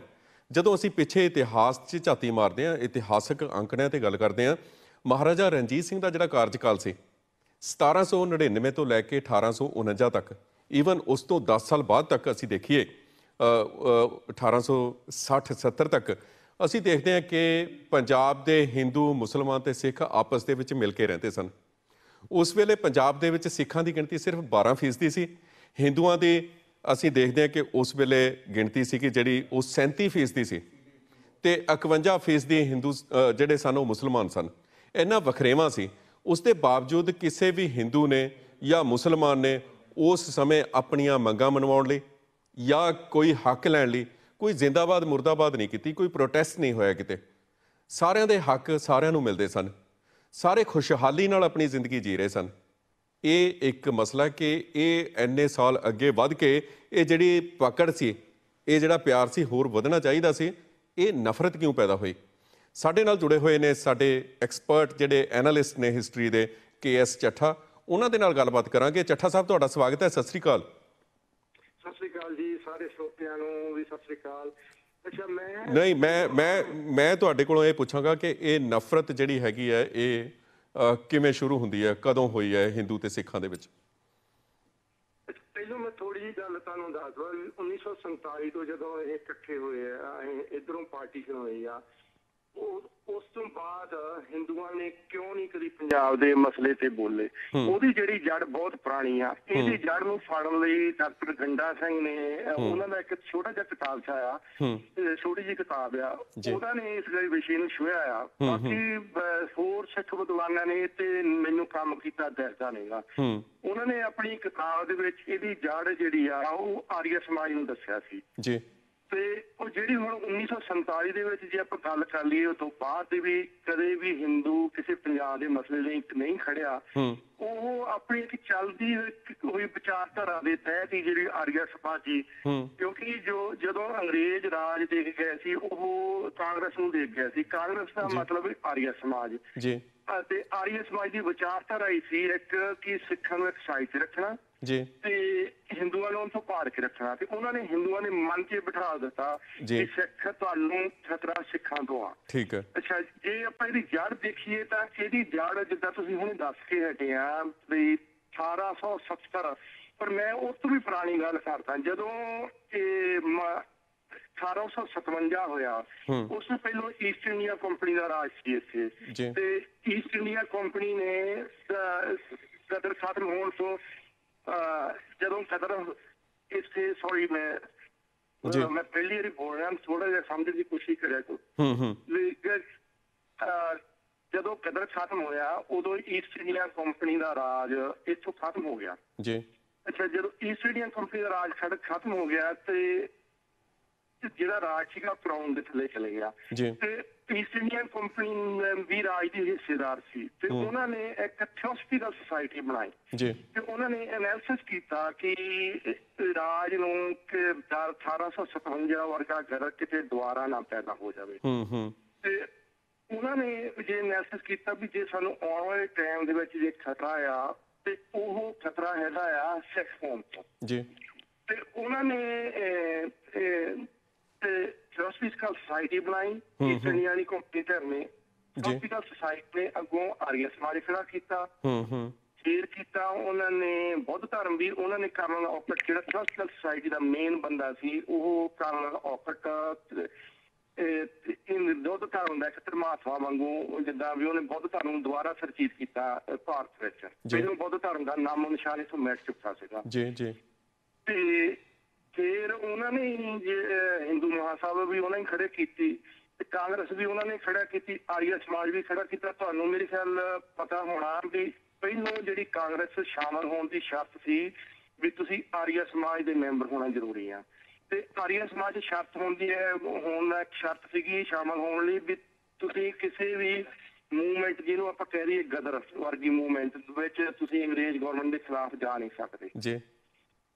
ਤੇ ਕਿਤਾਬ ਜਿਹੜਾ ਮੈਂ ਉਹਦਾ ਦੱਸਦਾ ਨਾਮ the welfare movement self determination and the international ਉਸ ਕਿਤਾਬ ਦਾ ਹਵਾਲਾ ਦੇ ਕੇ ਡਾਕਟਰ ਮੀਤ ਸਿੰਘ ਦਾ ਇੱਕ ਆਰਟੀਕਲ ਆ। ਉਹ ਆਰਟੀਕਲ ਦੇ ਵਿੱਚ ਲਿਖਿਆ ਹੋਇਆ ਆ ਕਿ ਉਹ ਕਿਤੇ ਜਿੱਦਾਂ ਮਹਾਰਾਜਾ ਰਣਜੀਤ ਸਿੰਘ ਦੇ ਰਾਜ ਵੇਲੇ ਸੂਦਰ ਨੇ ਹਥਿਆਰਬੰਦ ਹੋ ਕੇ ਰਾਜ ਖੜਾ ਕਰ ਲਿਆ ਸੀ ਕਿਤੇ ਕਿਤੇ ਉਹਦਾ ਦੁਬਾਰਾ ਨਾ ਹੋ ਜਵੇ। ਉਸ ਕਾਰਨ ਲਈ ਉਹਨਾਂ ਨੇ ਸਿੱਖ ਧਰਮ ਦੇ ਆਲੇ ਦੁਆਲੇ ਦੁਬਾਰਾ ਛੋੜੀਆਂ ਸ਼ੁਰੂ ਕਰ ਦਿੱਤੀਆਂ ਇੱਕ ਤਾਂ ਉਹਨਾਂ ਨੇ ਬੁੱਧ ਧਰਮ ਖੜਾ ਕੀਤਾ ਕਿ ਜਿਹੜੇ ਜਿਹੜੇ ਦਰਤ ਆ ਸਿੱਖ ਧਰਮ ਚ ਨਾ ਚੱਲ ਜਾਣ ਇਹਨਾਂ ਨੂੰ ਬੋਧੀ ਬੋਧੀ ਬਣ ਜਾਣ। ਜੇ ਬੋਧੀ ਬਣ ਗਏ ਤਾਂ ਉਹਨਾਂ ਨੂੰ ਖਤਰਾ ਨਹੀਂ ਸੀ ਬੁੱਧ ਦੀ ਜਿਹੜੀ ਫਿਲਾਸਫੀ ਆ ਉਹ ਅਹਿੰਸਾ ਦੀ ਸੀ। ਫਿਰ ਉਹਨਾਂ ਨੇ ਦੂਸਰਾ ਪੰਜਾਬ ਦੇ ਹਿੰਦੂਆਂ ਦੇ ਮਨਾਂ ਦੇ ਵਿੱਚ ਨਫ਼ਰਤ ਬਿਠਾਉਣੀ ਸ਼ੁਰੂ ਕੀਤੀ। ਜੀ। ਵੀ ਜੇ ਤੁਹਾਡੀ ਆਉਣ ਵਾਲੀ ਪਛਾਣ ਨੂੰ ਖਤਰਾ ਤੇ ਸਿੱਖੀ ਦੀ ਪਛਾਣ ਨੂੰ ਮੈਂ ਸਿੱਖੀ ਤੋਂ ਆ ਤੁਹਾਨੂੰ। ਨਹੀਂ ਤੇ ਤੁਸੀਂ ਸਿੱਖ ਧਰਮ ਤੁਹਾਨੂੰ ਆਪੇ ਚ ਜੱਜ ਕਰ ਲਊਗਾ ਆਉਣ ਵਾਲੇ ਟਾਈਮ ਦੇ ਵਿੱਚ। ਇਹ ਉਹਨਾਂ ਦੇ ਮਨਾਂ ਦੇ ਵਿੱਚ ਬਿਠਾਈ ਇਹ ਆਰੀਆ ਸਮਾਜ ਦੀ ਇੱਕ ਏਜੰਡਾ ਸੀ। ਜੀ। ਸੋ- ਉਹ ਸੌਖੇ ਜਿੱਦਾਂ ਜਿਹੜਾ ਬ੍ਰਿਟਿਸ਼ ਇੰਪਾਇਰ ਸੌਖਾ ਰਾਜ ਕਰਦਾ ਹੋਵੇ ਵੀ ਲੋਕਾਂ ਨੂੰ ਇਹਨਾਂ ਦੇ ਵਿੱਚ ਦੁਬਾਰਾ ਇੰਨੀਆਂ ਪੈਦਾ ਕਰ ਦਿਓ। ਤੇ ਉਸ ਤੋਂ ਬਾਅਦ ਉਹਨਾਂ ਨੇ ਮੈਂ ਗੱਲ ਭੁੱਲ ਗਿਆ। ਮੈਂ ਮੈਂ ਤੁਹਾਨੂੰ ਤੁਸੀਂ। ਤੁਸੀਂ ਇਹ ਦੱਸੋ ਕਿ ਇਹ ਜਿਹੜਾ ਆਰੀਆ ਸਮਾਜ ਦੀ ਪੰਜਾਬ ਦੇ ਵਿੱਚ ਲਹਿਰ ਹੈ ਇਸ ਦਾ ਇਹਨੂੰ ਉਭਾਰਨ ਦੇ ਲਈ ਥਿਓਸੋਫੀਕਲ ਸੁਸਾਇਟੀ ਕਿਵੇਂ ਜ਼ਿੰਮੇਵਾਰ ਹੈ? ਜੀ ਥਿਓਸਫੀਕਲ ਸੁਸਾਇਟੀ ਜਦੋਂ ਤੁਸੀਂ ਨਾ ਜਾਓਗੇ ਉਹਨਾਂ ਦੀ ਆਰੀਆ ਸਮਾਜ ਆਫ ਦਾ ਥਿਓਸਫੀਕਲ ਸੁਸਾਇਟੀ ਦੀ ਵਿਕੀਪੀਡੀਆ ਤੇ ਆ। ਆਰੀਆ ਸਮਾਜ ਹੈ ਹੀ ਥਿਓਸਫੀਕਲ ਸੁਸਾਇਟੀ ਆ। ਜੀ। ਉਹਨਾਂ ਨੇ ਉਹਨਾਂ ਨੇ ਹੀ ਪੈਦਾ ਕੀਤੀ। ਥਿਓਸਫੀਕਲ ਸੁਸਾਇਟੀ ਨੇ ਹੀ ਆਰੀਆ ਸਮਾਜ ਖੜਾ ਕੀਤਾ। ਉਹਨੂੰ ਉਹਦਾ ਨਾਮ ਸੀ ਮੂਲਰਾਜ। ਉਹਨੂੰ ਟ੍ਰੇਨਿੰਗ ਦੇ ਕੇ ਸਵਾਮੀ ਜੋ ਵੀ ਹੈ ਇਹਨੂੰ ਬਵੇਕੀ ਉਹਨੂੰ ਕਹਿੰਦੇ ਆ ਸਵਾਮੀ ਹੁਣ ਮੈਨੂੰ ਨਾਮ ਭੁੱਲ ਗਿਆ ਮੇਰੇ ਮੂੰਹ ਤੇ ਨਾਮ ਫਲਦਾ ਉਹ ਉਹਨਾਂ ਨਾਮ ਸਵਾਮੀ ਰੱਖਿਆ ਰੱਖ ਕੇ ਤੇ ਉਹਨੂੰ ਪੰਜਾਬ ਦੇ ਵਿੱਚ ਹੀ ਪ੍ਰਮੋਟ ਕੀਤਾ। ਸਵਾਮੀ ਦਇਆਨੰਦ ਪੰਜਾਬ ਹਾਂ ਸਵਾਮੀ ਦਇਆਨੰਦ ਉਹਦਾ ਨਾਮ ਦਾ ਅਸਲ ਨਾਮ ਤਾਂ ਮੂਲਰਾਜ ਸੀਗਾ। ਅੱਛਾ। ਤੇ ਹਾਂਜੀ। ਤੇ ਸਵਾਮੀ ਦਇਆਨੰਦ ਨੂੰ ਪੰਜਾਬ 'ਚ ਪ੍ਰਮੋਟ ਕੀਤਾ। ਹੁਣ ਤੁਸੀਂ ਭਾਜੀ ਅੰਦਾਜ਼ਾ ਲਾਓ ਵੀ ਵੀ ਇੰਨੇ ਆਰੀਆ ਸਮਾਜ ਜਿਹੜੇ ਆ ਕਾਲਜ ਸਕੂਲ ਖੁੱਲੇ ਆ ਉਹਨਾਂ ਨੂੰ ਪੈਸਾ ਕਿੱਥੋਂ ਆਇਆ? ਹੂੰ ਹੂੰ। ਕਿਸੇ ਨੇ ਇਹਦੇ ਵਿੱਤੀ ਸਰੋਤ ਅਹ, ਸੋ- ਅਹ, ਕਿਸੇ ਨੇ ਵੀ ਇਹਨੇ ਇਸ ਤੇ ਕੰਮ ਨਹੀਂ ਕੀਤਾ। ਹੂੰ ਹੂੰ। ਉਹਨਾਂ ਨੇ ਗੁਪਤ ਇਹਨੂੰ ਲੈ ਲਓ ਵੀ ਗੁਪਤ ਫੰਡਿੰਗ ਕਰਕੇ ਆਰੀਆ ਸਮਾਜ ਦੀ ਲਹਿਰ ਖੜੀ ਕੀਤੀ। ਹਿੰਦੂਆਂ ਦੇ ਮਨਾਂ 'ਚ ਬਿਠਾਇਆ ਵੀ ਤੁਹਾਨੂੰ ਖਤਰਾ ਸਿੱਖਾਂ ਤੋਂ ਆ। ਕਿ ਜਿਹੜੇ ਇੱਥੇ ਜੱਟਵਾਦ ਉਭਾਰਿਆ ਗਿਆ ਤੁਸੀਂ ਜਿਹੜੀ ਮਾਲਵਿੰਦਰ ਸਿੰਘ ਬੜੈਚ ਦੀ ਕਿਤਾਬ ਭਗਤ ਸਿੰਘ ਵਾਲੀ ਆ ਉਹਦੇ ਵਿੱਚ ਇਹ ਗੱਲ ਦਾ ਸਬੂਤ ਲਿਖਿਆ ਹੋਇਆ ਆ ਕਿ ਜਿਹੜਾ ਵਖਰੇਵਾ ਖੜਾ ਕੀਤਾ ਆ ਇਹ ਵੀ ਪਿੰਡਾਂ 'ਚੋਂ ਆਣ ਕੇ ਕਹਿੰਦੇ ਸੀ ਵੀ ਇਹ ਤਾਂ ਜੱਟ ਆ ਤੁਸੀਂ ਉੱਚੀ ਕੌਮ 'ਚ ਆ ਇਹ ਇਹ ਯਾਨੀ ਕਿ ਦਲਤ ਜਿਨ੍ਹਾਂ ਨੂੰ ਆਪਾਂ ਕਹਿੰਦੇ ਵੀ ਇਹ ਤੁਸੀਂ ਨੀਵੀਂ ਆ ਤੁਸੀਂ ਇਦਾਂ ਨਹੀਂ। ਇਹ ਗੱਲਾਂ ਸਾਡੇ 'ਚ ਪਹਿਲੋਂ ਇੰਨੀਆਂ ਹੈ ਨਹੀਂ ਸੀਗੀਆਂ ਬਹੁਤ ਮਾਈਨਰ ਪੱਧਰ ਤੇ ਸੀ। ਪਰ ਇੱਕ ਗੱਲ ਸਾਡੇ ਇੱਕ ਗੱਲ ਚੱਠਾ ਸਾਹਿਬ ਸਾਡੇ ਸਾਹਮਣੇ ਆ ਰਹੀ ਹੈ ਕਿ ਇਸ ਵੇਲੇ ਜਿੱਥੇ ਪੰਜਾਬ ਚੋਂ ਵੱਡੀ ਗਿਣਤੀ 'ਚ ਸਿੱਖ ਪਲਾਇਨ ਕਰਕੇ ਬਾਹਰਲੇ ਮੁਲਕਾਂ ਵਿੱਚ ਜਾ ਰਹੇ ਨੇ ਉਹਦੇ ਨਾਲ ਹੀ ਅਸੀਂ ਦੇਖਦੇ ਹਾਂ ਕਿ ਪੰਜਾਬ ਦਾ ਹਿੰਦੂ ਵੀ ਕਾਰੋਬਾਰ ਦੇ ਤੌਰ ਦੇ ਉੱਤੇ ਮੈਨੂੰ ਲੱਗਦਾ ਕਿ ਖਤਮ ਹੋ ਰਿਹਾ ਹੈ। ਪੰਜਾਬ ਦਾ ਹਿੰਦੂ ਵੀ ਪੂਰੀ ਤਰ੍ਹਾਂ ਆਰਥਿਕ ਤੌਰ ਤੇ ਸੁਰੱਖਿਅਤ ਨਹੀਂ ਕਿਹਾ ਜਾ ਸਕਦਾ ਇਸ ਵੇਲੇ। ਹਿੰਦੂਆਂ ਦੇ ਜਿਹੜੇ ਮੈਨੂੰ ਲੱਗਦਾ ਕਿ ਅੱਗੇ ਬੱਚੇ ਨੇ ਉਹ ਵੀ ਪਲਾਇਨ ਕਰ ਰਹੇ ਨੇ ਉੱਥੋਂ ਹੌਲੀ ਹੌਲੀ ਕਿਉਂਕਿ ਜਿਹੜਾ ਵਖਰੇਵਾ ਐਡੀ ਵੱਡੀ ਪੱਧਰ ਦੇ ਉੱਤੇ ਅਸੀਂ ਦੇਖਦੇ ਹਾਂ ਕਿ ਪ੍ਰਵਾਸ ਹੈ ਬਿਹਾਰ ਤੋਂ, ਉੱਤਰ ਪ੍ਰਦੇਸ਼ ਤੋਂ, ਉਹ ਪੰਜਾਬ ਵੱਲ ਹੋਣ ਕਾਰਨ ਇਹ ਜਿਹੜੀ ਗਿਣਤੀ ਹੈ, ਇਹ ਲਗਾਤਾਰ ਵੱਧਦੀ ਜਾ ਰਹੀ ਹੈ। ਉਹਨਾਂ ਦੀ ਇਹ ਕਿਤੇ ਆਪਸ ਦੇ ਵਿੱਚ ਤੁਸੀਂ ਕੋਈ ਟਕਰਾਅ ਨਹੀਂ ਦੇਖ ਰਹੇ ਇਹਦੇ ਵਿੱਚ? ਹਾਂਜੀ ਬਿਲਕੁਲ ਟਕਰਾਅ ਜੀ। ਵੈਸੇ ਜਿਹੜਾ ਤੁਸੀਂ ਇਹਨਾਂ ਸਟੇਟ ਦਾ ਏਜੰਡਾ ਹੈ ਨਾ ਤੁਸੀਂ ਦੇਖੋਗੇ ਉਹਨਾਂ ਦਾ ਏਜੰਡਾ ਸੀ ਪੰਜਾਬ ਨੂੰ ਤਬਾਹ ਕਰਨ ਦਾ। ਉਹਨਾਂ ਨੂੰ ਕੋਈ ਪਰਵਾਹ ਨਹੀਂ ਕਿ ਹਿੰਦੂ ਇੱਥੇ ਤਬਾਹ ਹੁੰਦੇ ਆ ਜਾਂ ਹੋਈ ਜਾਣ। ਉਹਨਾਂ ਨੂੰ ਉਹ ਉਹਦਾ ਉਹਨਾਂ ਨੂੰ ਕਹਿੰਦੇ ਆ ਕਿ ਤੁਹਾਡਾ ਜਿਹੜੇ ਬਚਾਇਆ ਤੁਸੀਂ ਸਟੇਟ ਨਾਲ ਯਾਨੀ ਕਿ ਸੈਂਟਰ ਨਾਲ ਜੁੜ ਕੇ ਰਹੋਗੇ ਤਾਂ ਹੀ ਤੁਹਾਡਾ ਬਚਾਅ ਆ। ਹੂੰ ਹੂੰ। ਪਰ ਉਹਨਾਂ ਨੂੰ ਉਦਾਂ ਇਸ ਗੱਲ ਦਾ ਪ੍ਰਵਾਹ ਨਹੀਂ ਮੈਂ ਤੁਹਾਨੂੰ ਇੱਥੇ ਉਦਾਹਰਨ ਦਿੰਦਾ ਕਿ ਅਡਵਾਨੀ ਜਦੋਂ ਗ੍ਰਹਿ ਮੰਤਰੀ ਸੀ ਉਹਨੂੰ ਪੰਜਾਬ ਸਮੱਸਿਆ ਬਾਰੇ ਪੁੱਛਿਆ ਗਿਆ। ਵੀ ਇਹਦਾ ਕੀ ਹੱਲ ਆ? ਉਹ ਕਹਿੰਦਾ ਵੀ ਇਹਦਾ ਹੱਲ ਹੈ ਐਟਮ ਬੰਬ ਪਿਆ ਮਤਲਬ ਵੀ ਤੁਸੀਂ ਹੁਣ ਸਮਝ ਲਓ ਜੋ ਮਰਜ਼ੀ ਮਤਲਬ ਕਰ ਲਓ ਹੁਣ ਜੇ ਐਟਮ ਬੰਬ ਸਿੱਟਣਗੇ ਵੀ ਇੱਥੇ ਇਕੱਲੇ ਜਿਹੜੇ ਸਿੱਖ ਮਾਰਨੇ ਆ? ਹਿੰਦੂ ਵੀ ਤਾਂ ਮਾਰਨੇ ਆ। ਤੇ ਉਹ ਹੁਣ ਤੁਸੀਂ ਜੇ ਮੰਦੀ ਗੋਬਿੰਦਗੜ੍ਹ ਦੀ ਗੱਲ ਕਰ ਲਓ ਪਰ ਮੈਂ ਉਹ ਤੋਂ ਪਹਿਲਾਂ ਸ਼ਰਾਟੇ ਦੀ ਗੱਲ ਕਰਦਾ ਭਾਜੀ। ਜੀ। ਸ਼ਰਾਟੇ ਜਿੰਨੀ ਸਨਤ ਸੀਗੀ ਉਹ ਕਾਮਰੇਡਾਂ ਨੇ ਹੜਤਾਲਾਂ ਤਰਾ ਤਰਾ ਤਰਾ ਤਰਾ ਖਤਮ ਕਰ ਦਿੱਤੀ। ਤੇ ਮੰਡੀ ਗੋਬਿੰਦਗੜ੍ਹ ਬਾਰੇ ਵੀ ਤੁਸੀਂ ਥੋੜਾ ਤੁਸੀਂ ਚਾਨਣਾ ਪਾ ਦਿਓ ਤੁਹਾਡੇ ਕੋਲ ਇਹਦੇ ਵਿੱਚ ਜ਼ਿਆਦਾ ਅੰਕੜੇ ਹੋਣੇ ਆ। ਮੰਡੀ ਗੋਬਿੰਦਗੜ੍ਹ ਜਿਹੜੀ ਸਾਰੀ ਹਿੰਦੂ ਉੱਤੇ ਸੀਗੇ ਜਿਹੜੇ ਓਨ ਸਾਡੇ ਮਤਲਬ ਮਾਲਕ ਸੀਗੇ। ਤੇ ਉਹ ਜਦੋਂ ਇੰਡਸਟਰੀ ਤਬਾਹ ਹੋਈ ਆ ਈਵਨ ਮੋਗੇ ਦੇ ਵਿੱਚ ਇਹ ਆਪਣੀ ਮਸ਼ੀਨਾਂ ਬਣਾਉਣ ਦੀ ਬਹੁਤ ਵੱਡੀ ਇੰਡਸਟਰੀ ਸੀਗੀ ਤੇ ਸਭ ਤਬਾਹ ਹੋ ਗਈ ਇਹ ਸਭ ਪੰਜਾਬ ਨੂੰ ਤਬਾਹ ਦੀਆਂ ਚੱਲਣਾ ਸੀ ਕਿਉਂਕਿ ਉਹਨਾਂ ਦੇ ਇਹ ਏਜੰਡੇ ਦੇ ਵਿੱਚ ਆ ਕਿ ਜੇ ਆਉਣ ਵਾਲੇ ਟਾਈਮ ਦੇ ਵਿੱਚ ਜੇ ਸਾਨੂੰ ਖਤਰਾ ਆ ਤਾਂ ਸਿਰਫ ਤੇ ਸਿਰਫ ਸਿੱਖਾਂ ਤੋਂ ਹੋਣਾ।